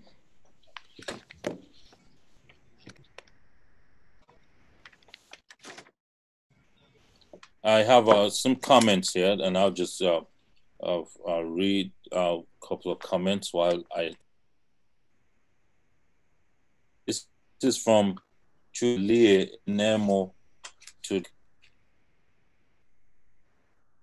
says that was mean your quote there from you something terrible happened and we must not look away um, a world post or with covid presents the opportunity to be better. Well, how do we grasp that opportunity while overcoming the many challenges diversity presents? Well, that, that's a yes. That's that's a very very good question. Um, I, I think with time, with conversations, with dialogue, I think it's important, even if it's through Zoom, even if the network is not perfect, I think it's really important that we keep talking to other people so that we learn from their experiences, so that we share our thoughts with them and they do the same thing. Uh, with patience, with compassion, it's with, with, I think with compassion mostly, right? Because understanding that we're not all facing the viruses in the same conditions, realizing that we're not facing this situation in the same condition and, and, and be open. I think Lucille was mentioning the idea of sharing. I do something for you, you do something for me. Uh, and, and we all work together towards trying to create a better world. Um, and I know we always say things like that after a disaster, but I think what's different with this one is how global it is. It's not localized anymore. We're all affected by it. So I think that's different that maybe is going to make this crisis different from the others. I'm hopeful that this is going to be an eye opener for enough people that the conversation is going to change and that things, good things are going to happen from it. Thank you for the question. Thank you. There's a um, there's a question here which I would uh, put to Dr. Nwaneri and Lucille. So we'll, you know, we'll go in that order. Says first, I want to think, sincerely thank you for your spectacular presentations. Uh, we all dream for a better world where we will be more humane going forward from this pandemic. However, it is often said that history often repeats itself because we do not learn from it. How do you think we can ensure that this solidarity and unity continues even after the pandemic? Do you think the government or other social institutions may have a hand in ensuring that this humanity thrives among humans? Yes. Um, so let's start with Lucille, then I'll come to Dr. Nwaneri. Uh, thank you for the question. And if uh, my answer would be maybe it's time to stop counting on the, the government uh, because we saw what happened in some countries. They did not had the appropriate response. And I think if you embody. Oh, well, uh, say just, just uh, nail it on the head. From the United States, we didn't have the right response to, to the pandemic. Exactly. exactly but i think like a way to uh, to make sure that the this this idea of solidarity is going on and that for once history doesn't re- repeat itself is that if you embody solidarity every day, even in small actions with anyone you encounter, then I don't know how to say that in English, but as snow, you know, like it's gonna snowballs. Voila. and and everyone will if, if everyone acts like that, then the whole world and so the government will have to respond. Yes. Thank you. Dr. Nwaneri, do you, you want me to read the question again to just uh, no, fine. Okay, I'm good. fine. It, it, it's really interesting that Lucille said part of what I wanted to say. One of the things I'd like to emphasize, no, seriously, I mean, one of the things I'd like to emphasize is we like to act as if the world just happened. People tend not to take responsibility for the world that we live in. We, we like to say, oh, you know, it's a dog eat dog world. It's the kind of world we find ourselves. So I'm an academic. I keep hanging out with artists. Why? Because you see, artists don't have a choice. They have to be courageous. They have to take a stand. They can't hide behind their professions, their career. So a banker can lie all day with due respect to bankers. A lawyer can lie all day, but a genuine artist has to tell their truth from inside, or else nobody is going to watch right? So there's something. So someone talked about the political side of um, of being an artist, how it's a call, right? That an artist is a politician. I think it was um, Professor Brown that said that just yes, now. Yes. That an artist is a politician. So an artist is also fundamentally honest. That is why the artist, that is part of the reason why the artist is such a threat. The appeal the artist has for me is that the artist is a politician who has to tell the truth by the nature of his or her work.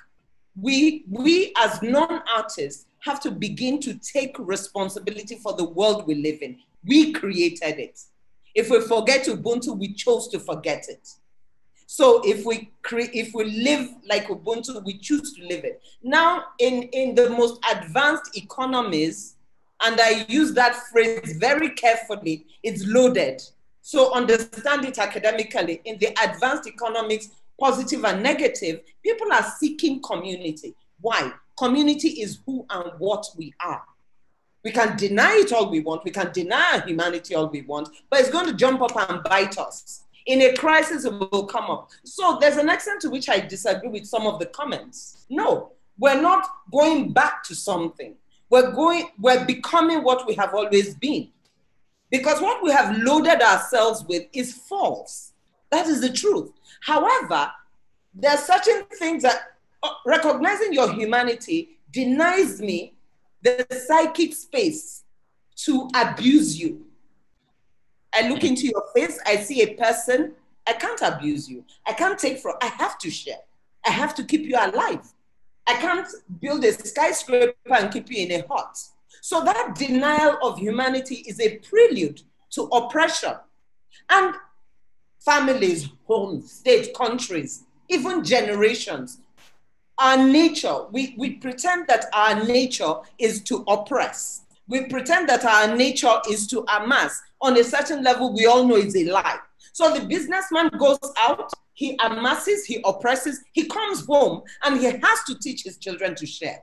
He doesn't have a choice. So where's the lie and where's the truth? So I really do not believe that something profound has happened to us. No, I think we just painted ourselves into a corner and now we have to come out of it. Or else, you see that self destruction that we've been postponing? We can't postpone it anymore. Sorry, bad news. so COVID is a catalyst for uh, you know final the final phase of our self destruction, yeah. or the beginning of our reinvention? Reversal. Well, it depends on if you're a pessimist or an optimist. I won't tell you what I am, but we'll see. we will continue. We'll see what we choose. We'll but it's our to... choice. It didn't happen to us. We chose. It's a, whatever we decide. It's us. Nobody yes. should say it happened. It's us. We chose it. So we'll see what we choose. Uh, th- thank you. And of course, you, are right. We chose, uh, even if by design or accident, we chose uh, to make even the virus happen um, somehow. Uh, that question that you know you both just responded to was sent in by OK Emeka Ebubechi Daniel, and uh, uh, thank you. Now, Dr. Nwaneri, you just touched on the on the artist again, and so I'm going to put the next question to um, Nathan and uh, Professor Brown. So we'll go with Nathan first. The question is very simple.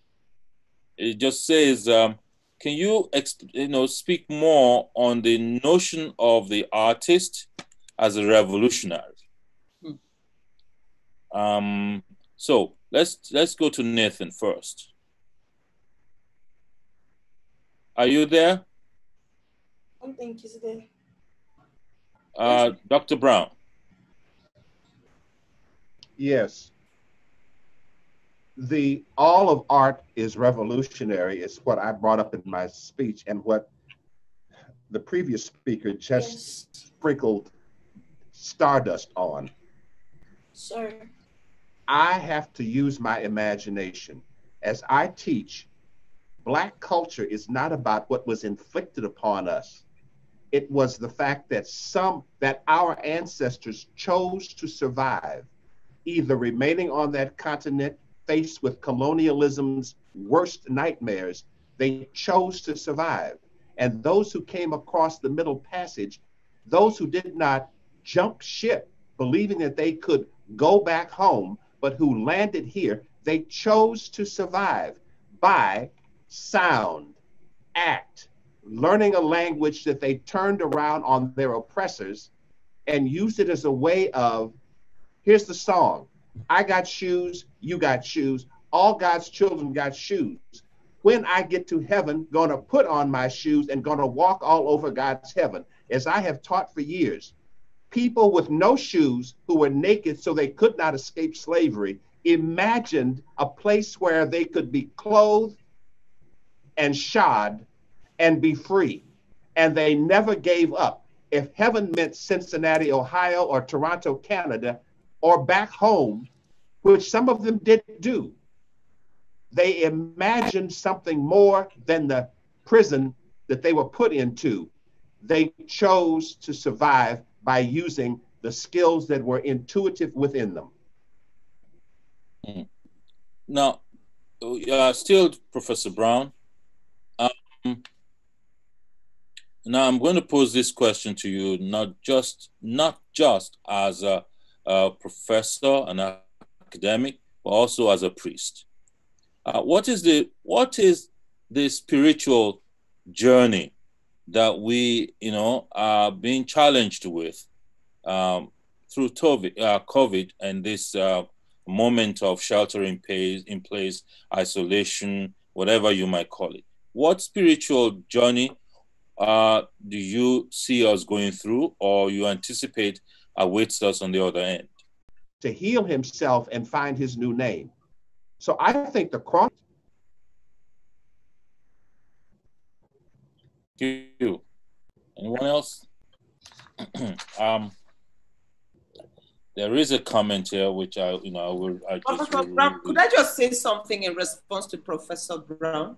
Yes, please. What he said just now. Yes. Yes, go so, ahead. Um, so you just said that you just said that there's a crossroads and um, the the African American community are. I'm trying to understand.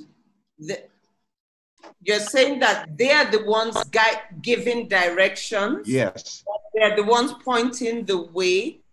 Yes. To the societies to go.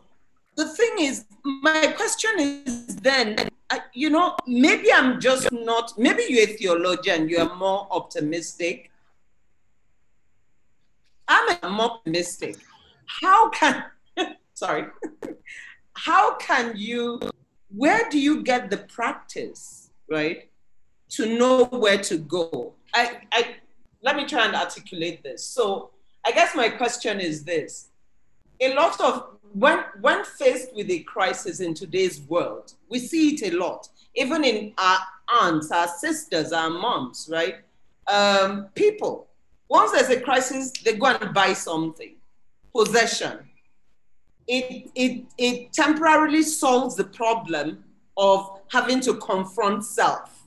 So I outsource looking at myself at looking at another item I bring home. It could be a car, it could be a bigger house, it could be a purse, it could be jewelry.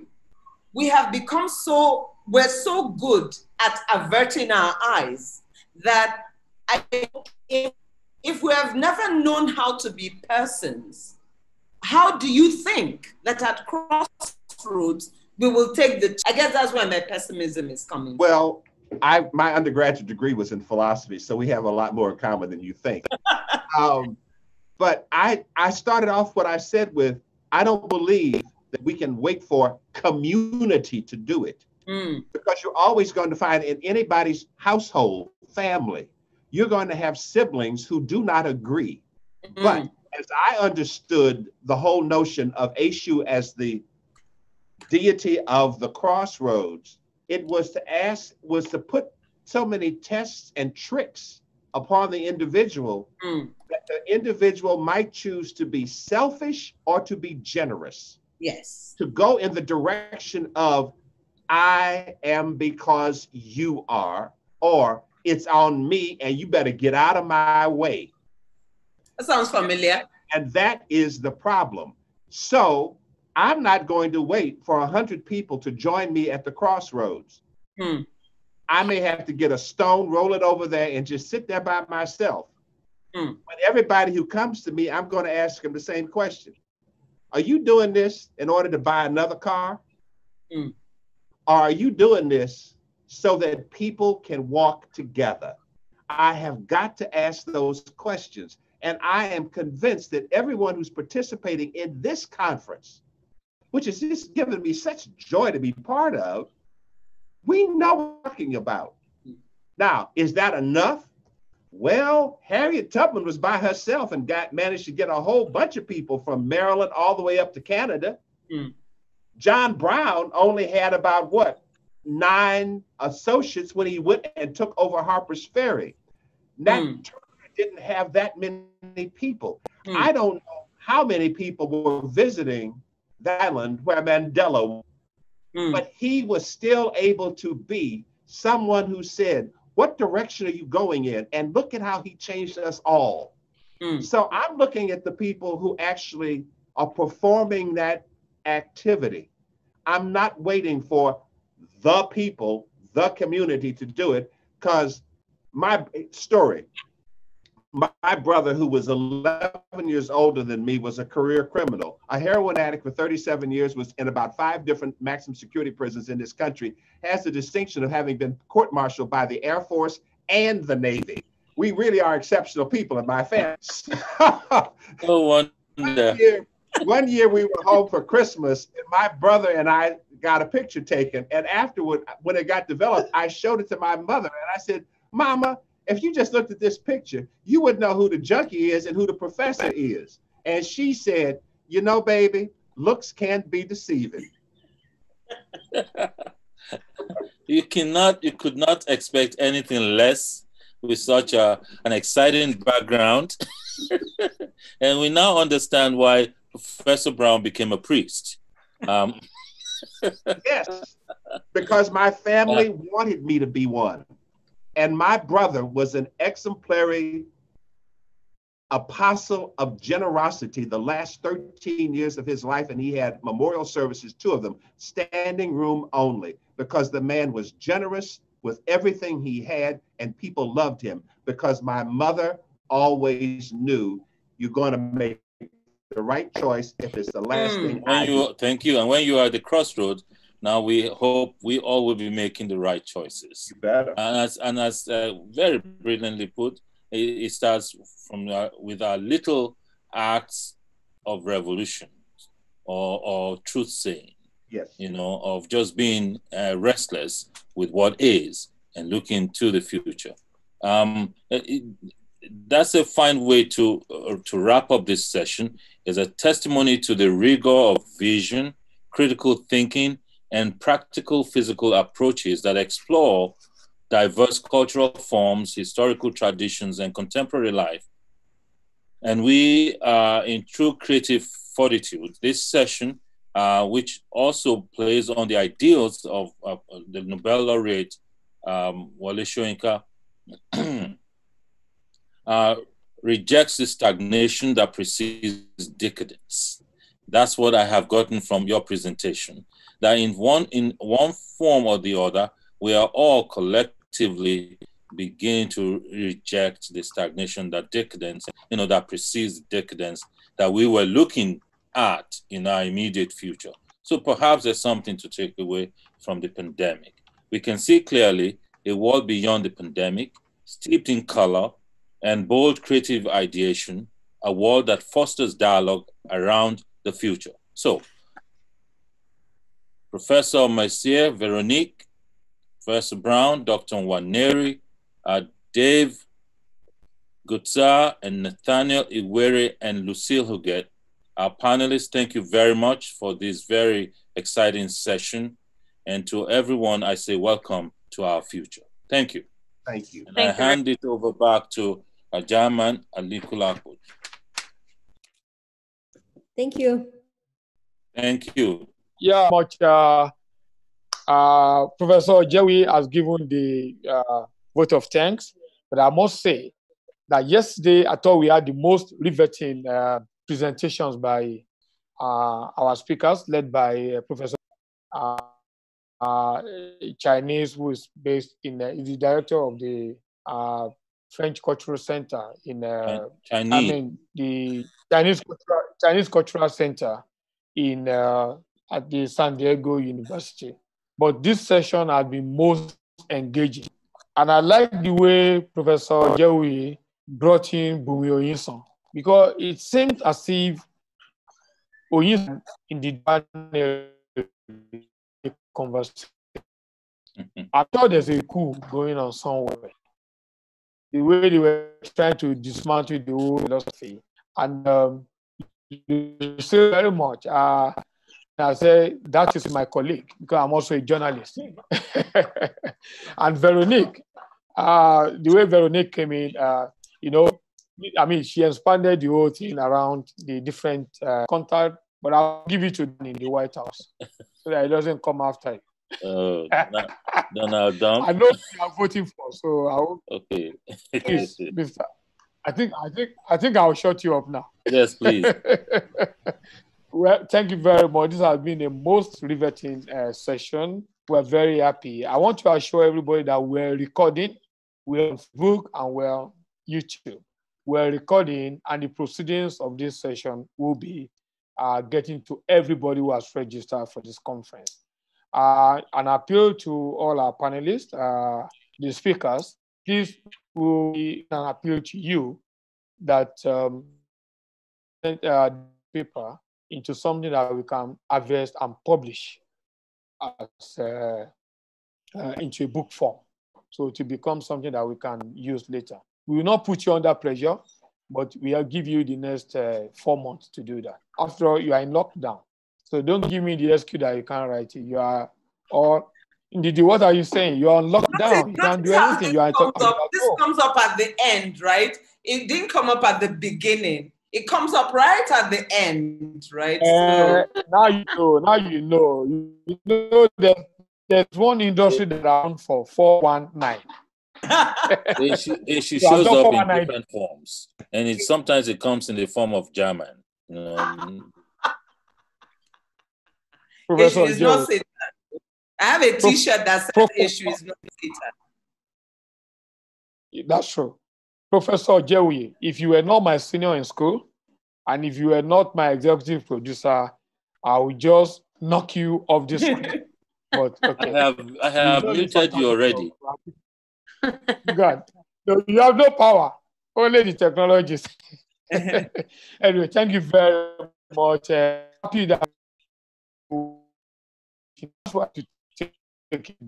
Unfortunately, I couldn't get uh, Dr. Bankole to join us, even though it's in. It's in the Middle East of Pan African University now. now uh, and marking. So he said he will not be able to do it. But he has Awam Amkpa, who is also in the house, to be uh, the one that will uh, talk about uh, briefly about the film. And if he doesn't want to talk about the film, he will talk about the Wole Soyinka I know. So I want to go to the house now and ask just two people, what do you know about Wole Soyinka? The first person to show his hand is the one I'm going to call, and then I'll call the second person. What do you know about Wole Soyinka? Because that's what the film tried to uh, explain. Uh, okay, you know, let, let me do it this way. I'll call three people because I saw Professor Duro Oni, who you get our brochure, the many encounters he had with Soyinka, and it's going to be in our brochure, which you can download and you see. So if Professor Oni is there, I'll ask him to speak on Soyinka in one minute, which means two minutes. Professor Oni, please. I don't know how to spotlight you, but I'm going to make an attempt. Professor Oni, uh, okay, you can uh, talk now. Okay, Thank please you go ahead. very Uh, much, Professor, Jahman. yeah, I'm sorry, Hi, let me just how are you? you.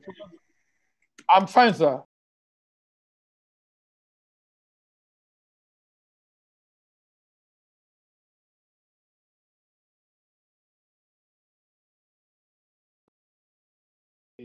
Our executive producer of this with Professor Jerry of this project.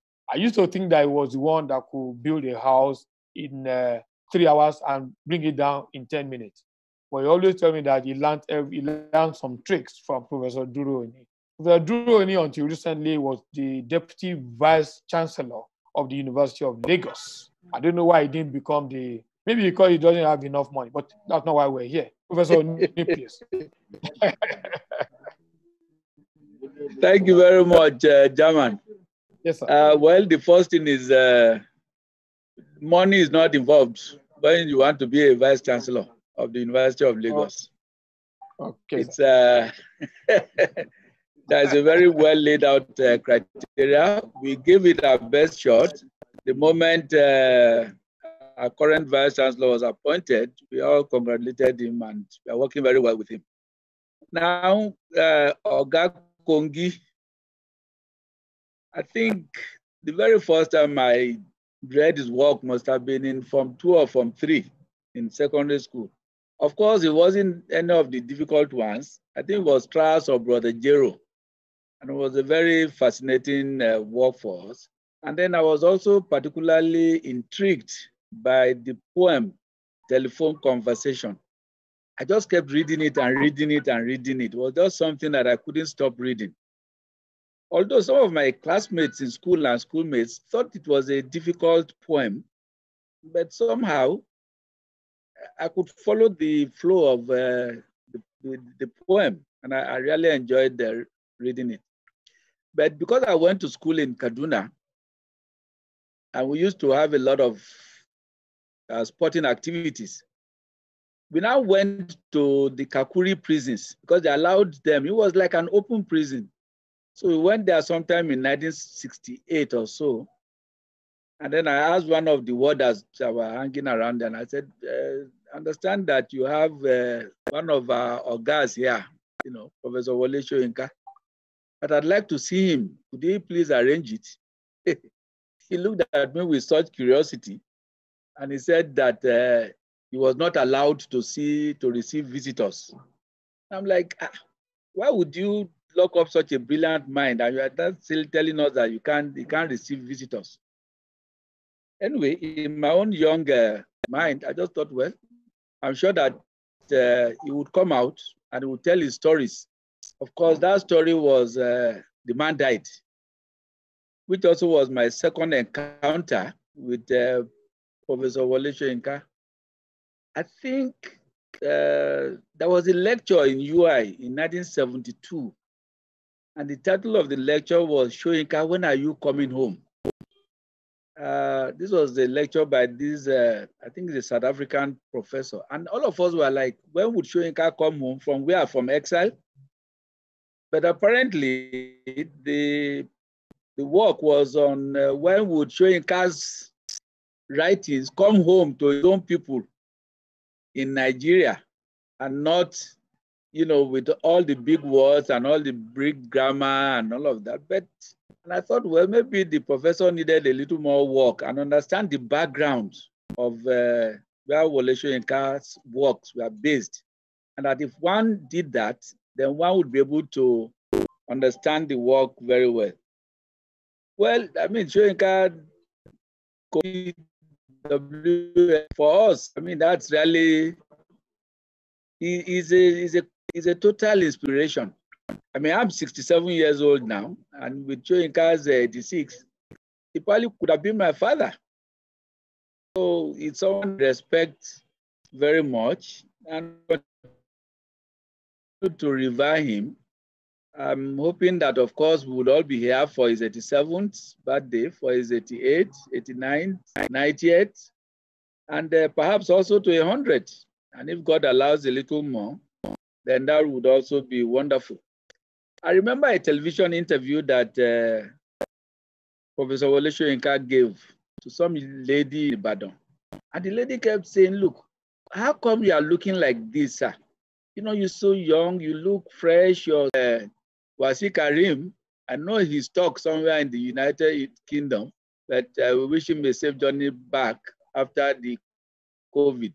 But it's interesting that Nigerian theater is also coming up gradually. There are some dramas now. The last one was uh, uh, theater in the car or something. That was performance. Yeah, in, in the park. Uh, yeah, you open there. Yeah. The driving park, the open drama, and they said, you know, that uh, you know they were able to show the production. People sat in their cars and they put the audio through their radio channels. That's very innovative. And we like to really congratulate all those who are involved in that. Thank you very much, Jahman. Yeah. Thank you all. Yeah. Uh, thank you very much. Um, I'm glad that you raised that because uh, I, I, sat in a session with Teju Karim, who is also a technical, I mean, of course, Teju Karim is always giving credit to you as one of the people that um, I worked with that has inspired him. And uh, we, we knew that he came back from London and he started a new direction for the thing. He said that this is the time for technical theater artists to put their heads together. Mm. And I'm sure that he'll be contacting you very soon because our life should not stop because of uh, COVID, because of pan- pandemic. And the reason we're doing this is to just to assure people that um, our life will continue. Our humanity will be restored to sanity and our world will be healed. COVID will go away. We didn't manufacture it. We didn't invite him. Our, him, her, it. It just sneaked on on us. It will sneak out. I'm actually consulting my grandfather, who is uh, Babalawo, please, Babalakwete, and he has assured me that uh, COVID is already packing his load.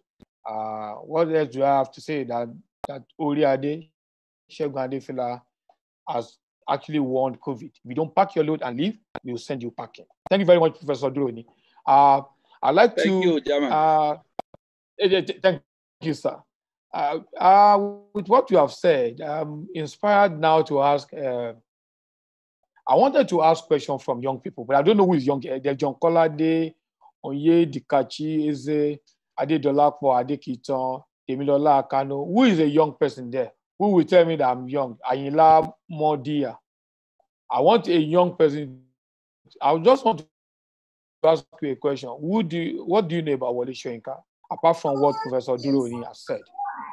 Uh, Sir, is there a way that? that? okay?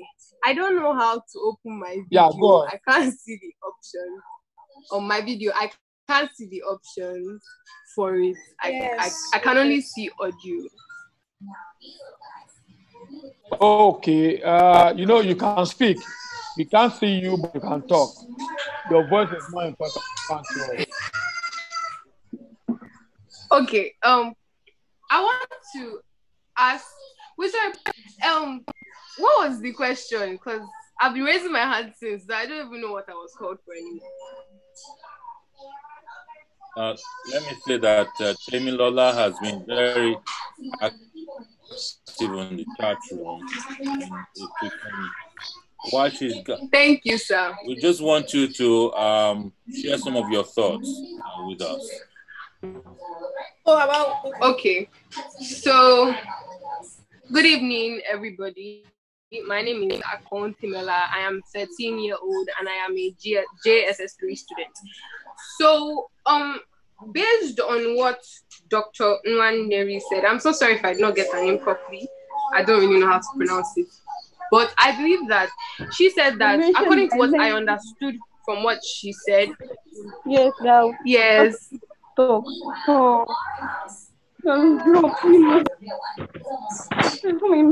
Um, I'm hearing somebody else's voice. I don't I don't know where it's coming from. You know, you know, you know what we're going to do? We're going to do this. And I'm sorry if it appears uh, rough. I'm going to mute every other person so that only the person who is talking can talk. Because there are so many background noise and we're not hearing ourselves. So, Temilola Akano, you have the floor. We are going to mute every other person. Please. Yes, sir. Thank you, right. sir.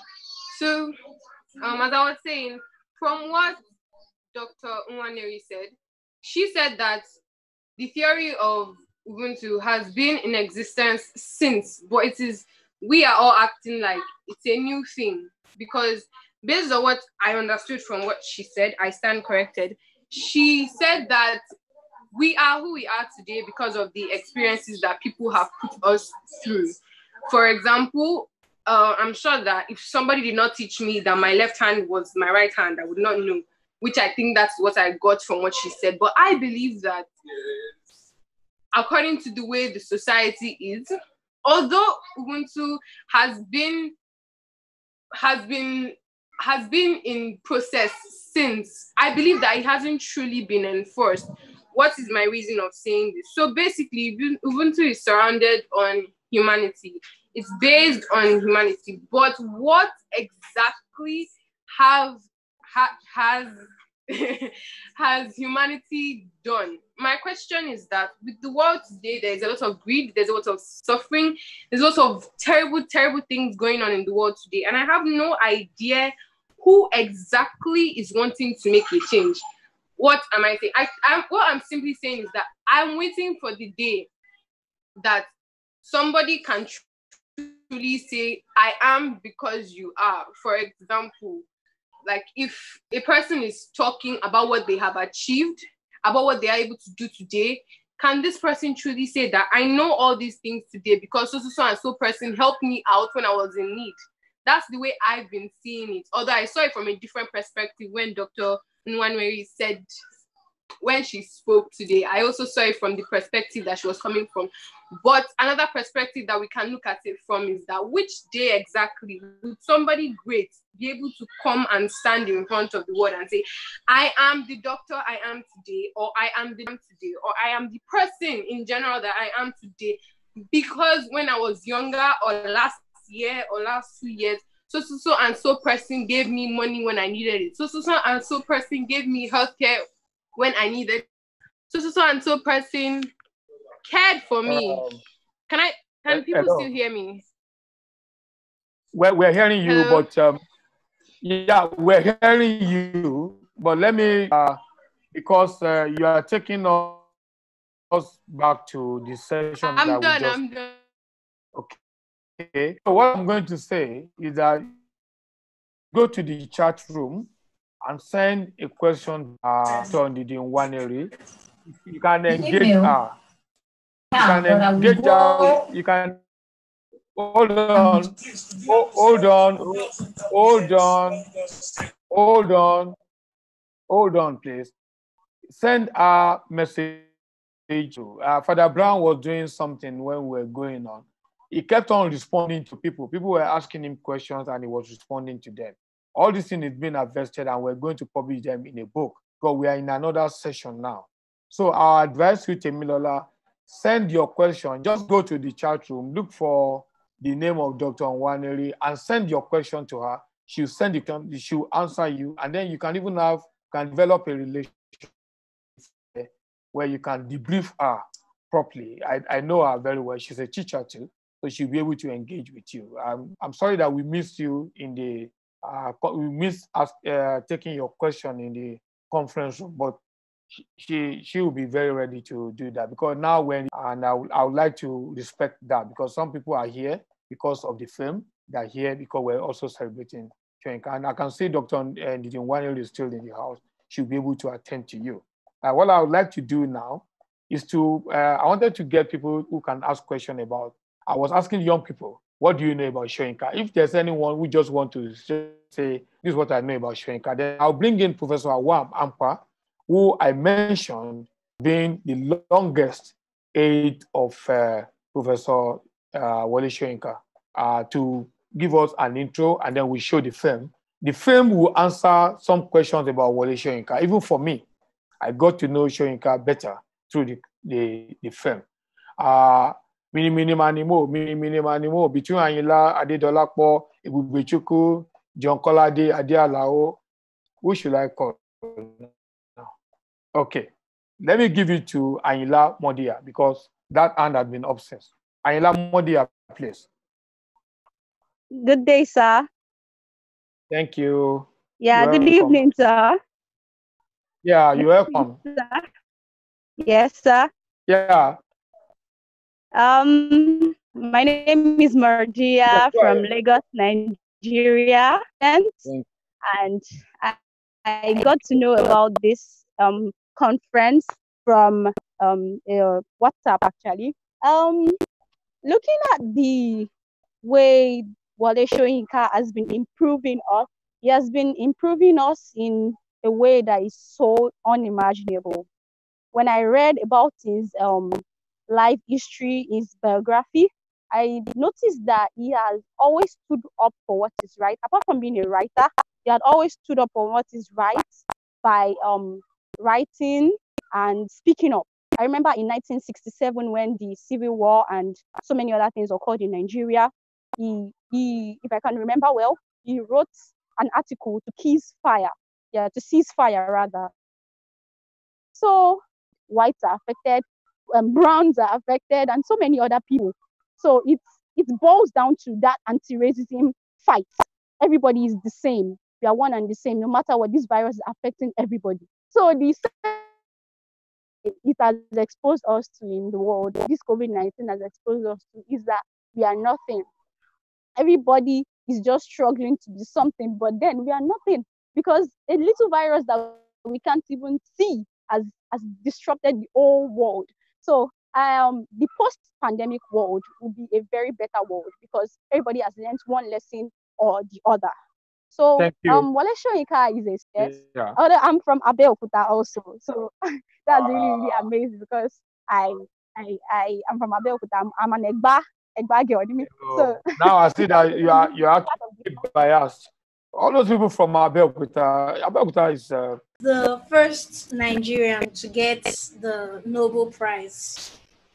And he led the group called Pyrates, which was actually meant to influence the world, mostly Nigeria, just to create a very good view of what Ubuntu said I am because you are.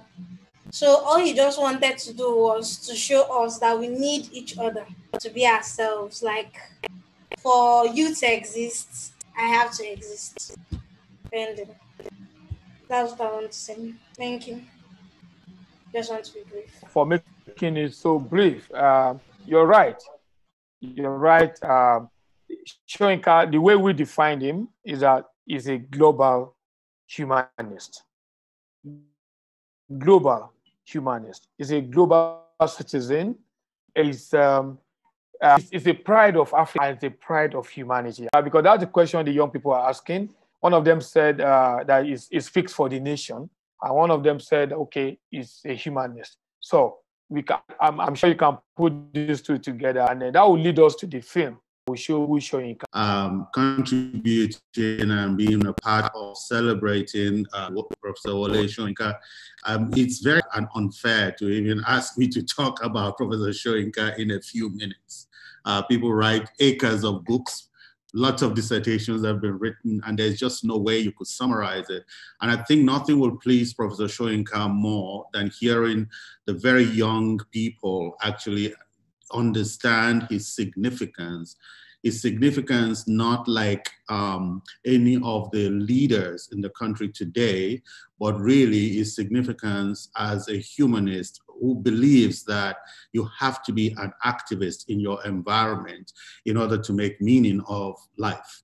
And it's impressive that these young people are able to read, understand, and also, even if they don't can't read his poems and his plays, at least they can see his images and political and cultural activism. And that is um, what I'm sure Professor Soyinka uh, would rather happen. But Professor Soyinka belongs to the world. He does not Nigeria. Uh, Professor Soyinka, as the film shortly will show, the film in English is called, it, uh, the, the title of the film in English will be A Poet of the World. And that's precisely, but the world that Professor Soyinka is talking about starts from where he was at in Nigeria. And it, it, it's an expansive way of teaching, of, of talking about the world, where it's not simply a local corner, but that everything we do, think, and say and imagine belongs to a global landscape. And he's written too many things for, for us to even think about. He's written, he's done plays, he's done poetry, he's done music, he's done so many other things that we can't even begin to mention. Um, uh, but let me first of all raise a toast to him with the most appropriate libation, uh, um, libation to what um, I would rather, I've written this somewhere else, that with the fiercest of thoughts, fire of words, clarity of focus, there are only a few like him who are as consistent and consistently charged with addressing issues of social inequalities. uh, with the kind of cultural and political activism he has mapped out, not only for himself, but for people around the world and for multiple generations of his students. I am but one of um, thousands, several hundreds of his former students around the world but for, for Professor Soyinka, it's not only oh, those, yeah. it's not only those he encountered in the classroom, but it was also those who's he, who he inspired in different parts of Nigeria and the rest of the world. Um, this poet, this dramatist, this philosopher, this teacher, this polymath, who we would loosely call a supreme admiral of multiple fleets, um, 86 chairs, uh, to continuous thunder. And um, he has built many monuments in many of us. And I hope those younger people who continue to be inspired by him, continue to learn more about him. This film is just an hour introduction to the multifaceted man. Uh, the, the, what it tells you, bottom line, is that Professor Soyinka lives in multiple times and multiple places simultaneously. So the film shows him comfortable in the world of tradition as he is in the world of the modern day, but as somebody who is constantly creative and always building and reinventing things, which is the energy he wants to impart to his audiences, to his students, and to the younger generation. Um, uh, the, the film uh, talks about his idea of humanism. Humanism, you can call it Ubuntu, you can call it any other name. Humanism is not complicated. It's not complicated to not see yourself as the center of the world, but to understand that there are many centers to the world and that we are interdependent and our subjectivity is what makes us the subjects of history.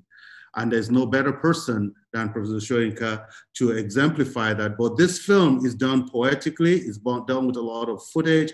And also for me, it's a great pride to be able to introduce the film because uh, the co-director of the film, uh, uh, Dr. Bankole Bello, was actually my teacher at IFE as well. So I am so pleased. I was so happy to see and rediscover this film and um, to this occupant of multiple places and multiple times called Professor Wole Soyinka, this film gives you a little introduction to it. And for the young people, if you haven't seen it, go online and check his poem about children called As If. And there you would understand that he's giving you an attitude, he's giving you a kernel of truth so that you will not accept the tyrannies of those around you, your parents, your grandparents, and the people they support. You would not accept the untruths they teach you every day, but rather you would actually be an activist yourself in your mind and in your way you see the world. The world is absolutely changeable, and you are going to be one of those who change it. And this is to the younger people. And to the rest of us, we will say cheers to Professor Soyinka. Thank you, gentlemen. Thank you, uh, and thank you to all the others who have put this event together, regardless of the situation. Cheers. Thank you very much.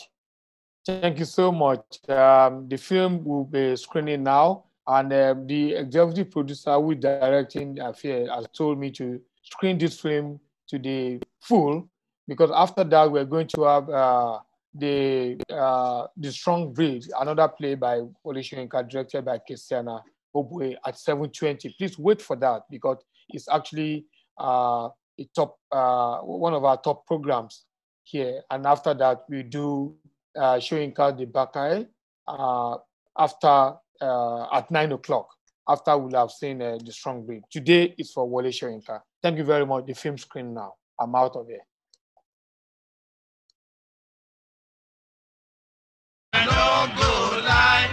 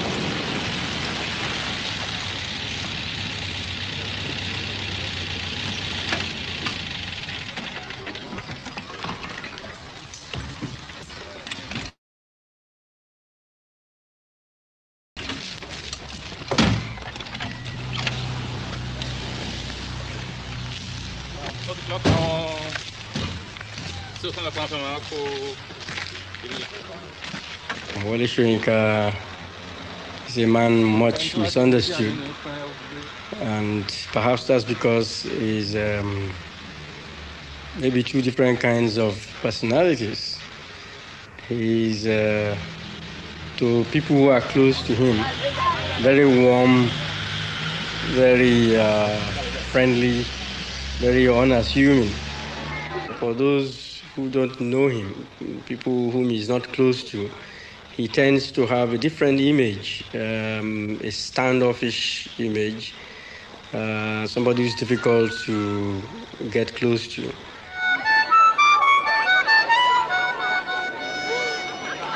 I have a dream. Je fais un rêve. Un jour, le principal souci de l'homme sera de nourrir son esprit. Le temps des grands et petits profits, de petits et de grands égoïsmes seront révolus. Il ne nous restera plus à assouvir que notre fin de compréhension et de culture. Je rêve, mais il faudra bien qu'un jour cela soit. L'homme a vécu dans des cavernes, des huttes, des villages, des pays, des nations, et aujourd'hui, nous prenons conscience d'habiter une planète. Chaque homme est devenu le proche voisin de chaque homme de la planète. Pour cela, il est nécessaire que tout homme ait non seulement les moyens de vivre, mais encore ceux de penser par lui-même. Qu'on lui reconnaisse le droit d'accès à la connaissance et aussi celui de cultiver sa propre culture. Car ce n'est pas d'une vision unique dont cette planète a besoin, mais d'un regard riche de toutes les différences, de toutes les aspirations, de tous les souvenirs.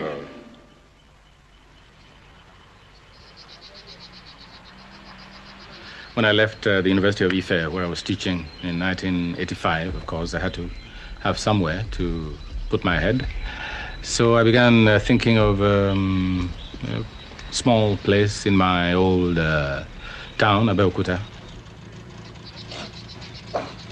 As the construction went on, I thought of uh, expanding it and making it a kind of uh, artist's retreat.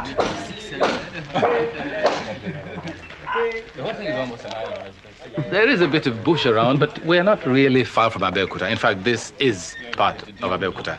But I've picked one of the uh, most extreme points of the town because the whole idea is to get away from everything and everybody, but while at the same time keeping physical touch with the rest of the town.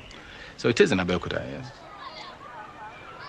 Abeokuta was a city of rocks, still is, rocks and uh, woods interspersed with rocks. So the rocks were the predominant kind of nature image in Abeokuta. I was born here, brought up in Ake. Ake is almost, well, not quite on the other side. From here, it's about halfway through the town of Abeokuta. That's where I was raised. Well, it's where it all began. These are the playgrounds of uh, one's childhood, all this area. Uh, they used to have uh, whitewashed stones, but um, all that seems to have changed. It's all bare. Um, it's impossible to see now because it's been demolished. But the pastor whom I described, the canon whom I described in Ake, his house used to be over there, uh, but the prelate's domain was that uh, church over there, St. Peter's Church. Now, this is the primary school where I spent uh, most of the time. It's the school bell, one of my favorite characters. In my conception, it is always related to that church. In fact, I think I described it in Ake as the infant son, infant child of that very distant parent. Um, the whole place was like a family, both the animate objects and the inanimate objects, including even these playing fields, which have changed now. Now, that, of course, was the dominant object uh, the entire compound. That mass of boulders was the was the boss of everything. It dominated the entire space here. It was patriarch and matriarch for all the children. Playground, all the hollows, the combs, climbing on the uh, backs of the rocks, trying to be as sure-footed as those goats over there. Now this, of course, is Jonah. If you haven't guessed, and if you've read uh, Ake, The Years of Childhood, the whale. I know it was a whale who swallowed uh, the prophet Jonah, but in our, in my view at the time, this was the whale, Jonah. And uh, somebody's been chopping off the head, some nasty people, but uh, it still retains the same shape. Uh, the main attraction was its placidity. One could just lie on the back all day. I was fascinated by the oval pools who made them? We didn't know, but who must have come from uh, somewhere in the skies and just dug out these holes specially for us to knead clay in. This building, that's where I started my schooling, the infant section of St. Peter's School. I followed my sister to school uh, very early, before I was even three.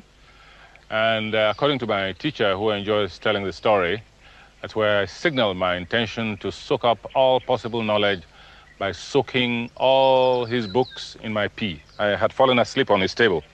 Anyway, after that very uh, determined signal to the world, the teacher had no option but to let me stay on and continue my schooling with um, other children who were far older than I was.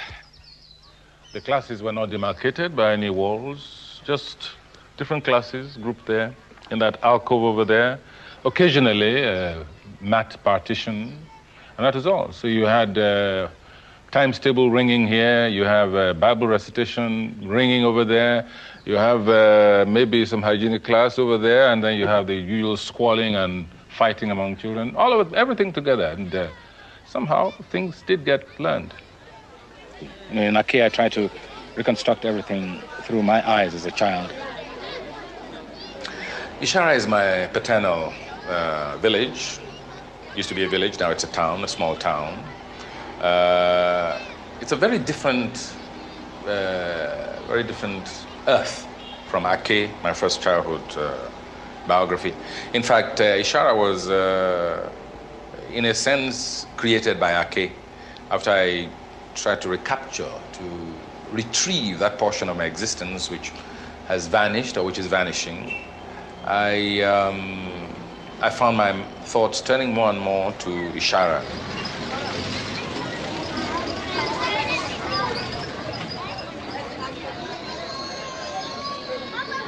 Ishara is um, part of my childhood, except that I do not appear in it.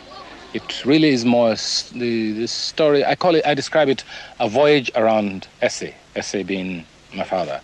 Um, a title I borrowed, a subtitle I borrowed from John Mortimer's play, which he wrote about his father. But I like very much the sound of it, a voyage around one's father. So it doesn't pretend to be totally factual, but it it's based on facts. Uh, the real names there. Uh, I tried now to approach that period, and especially the town of Isara, with a far more mature sensibility. This time I tried to listen to the voices which they used among themselves to recollect those voices, that perspective on life, on politics, the colonial period, which is very important to them. I didn't realize what colonialism was when I was that young. All I knew was that we dressed up in our little starched shorts and shirts and marched to, on Empire Day. And unknowing uh, to ourselves, we sang very proudly, not knowing that we were laughing at ourselves, we sang the praises of Queen Victoria and how she was the great liberator.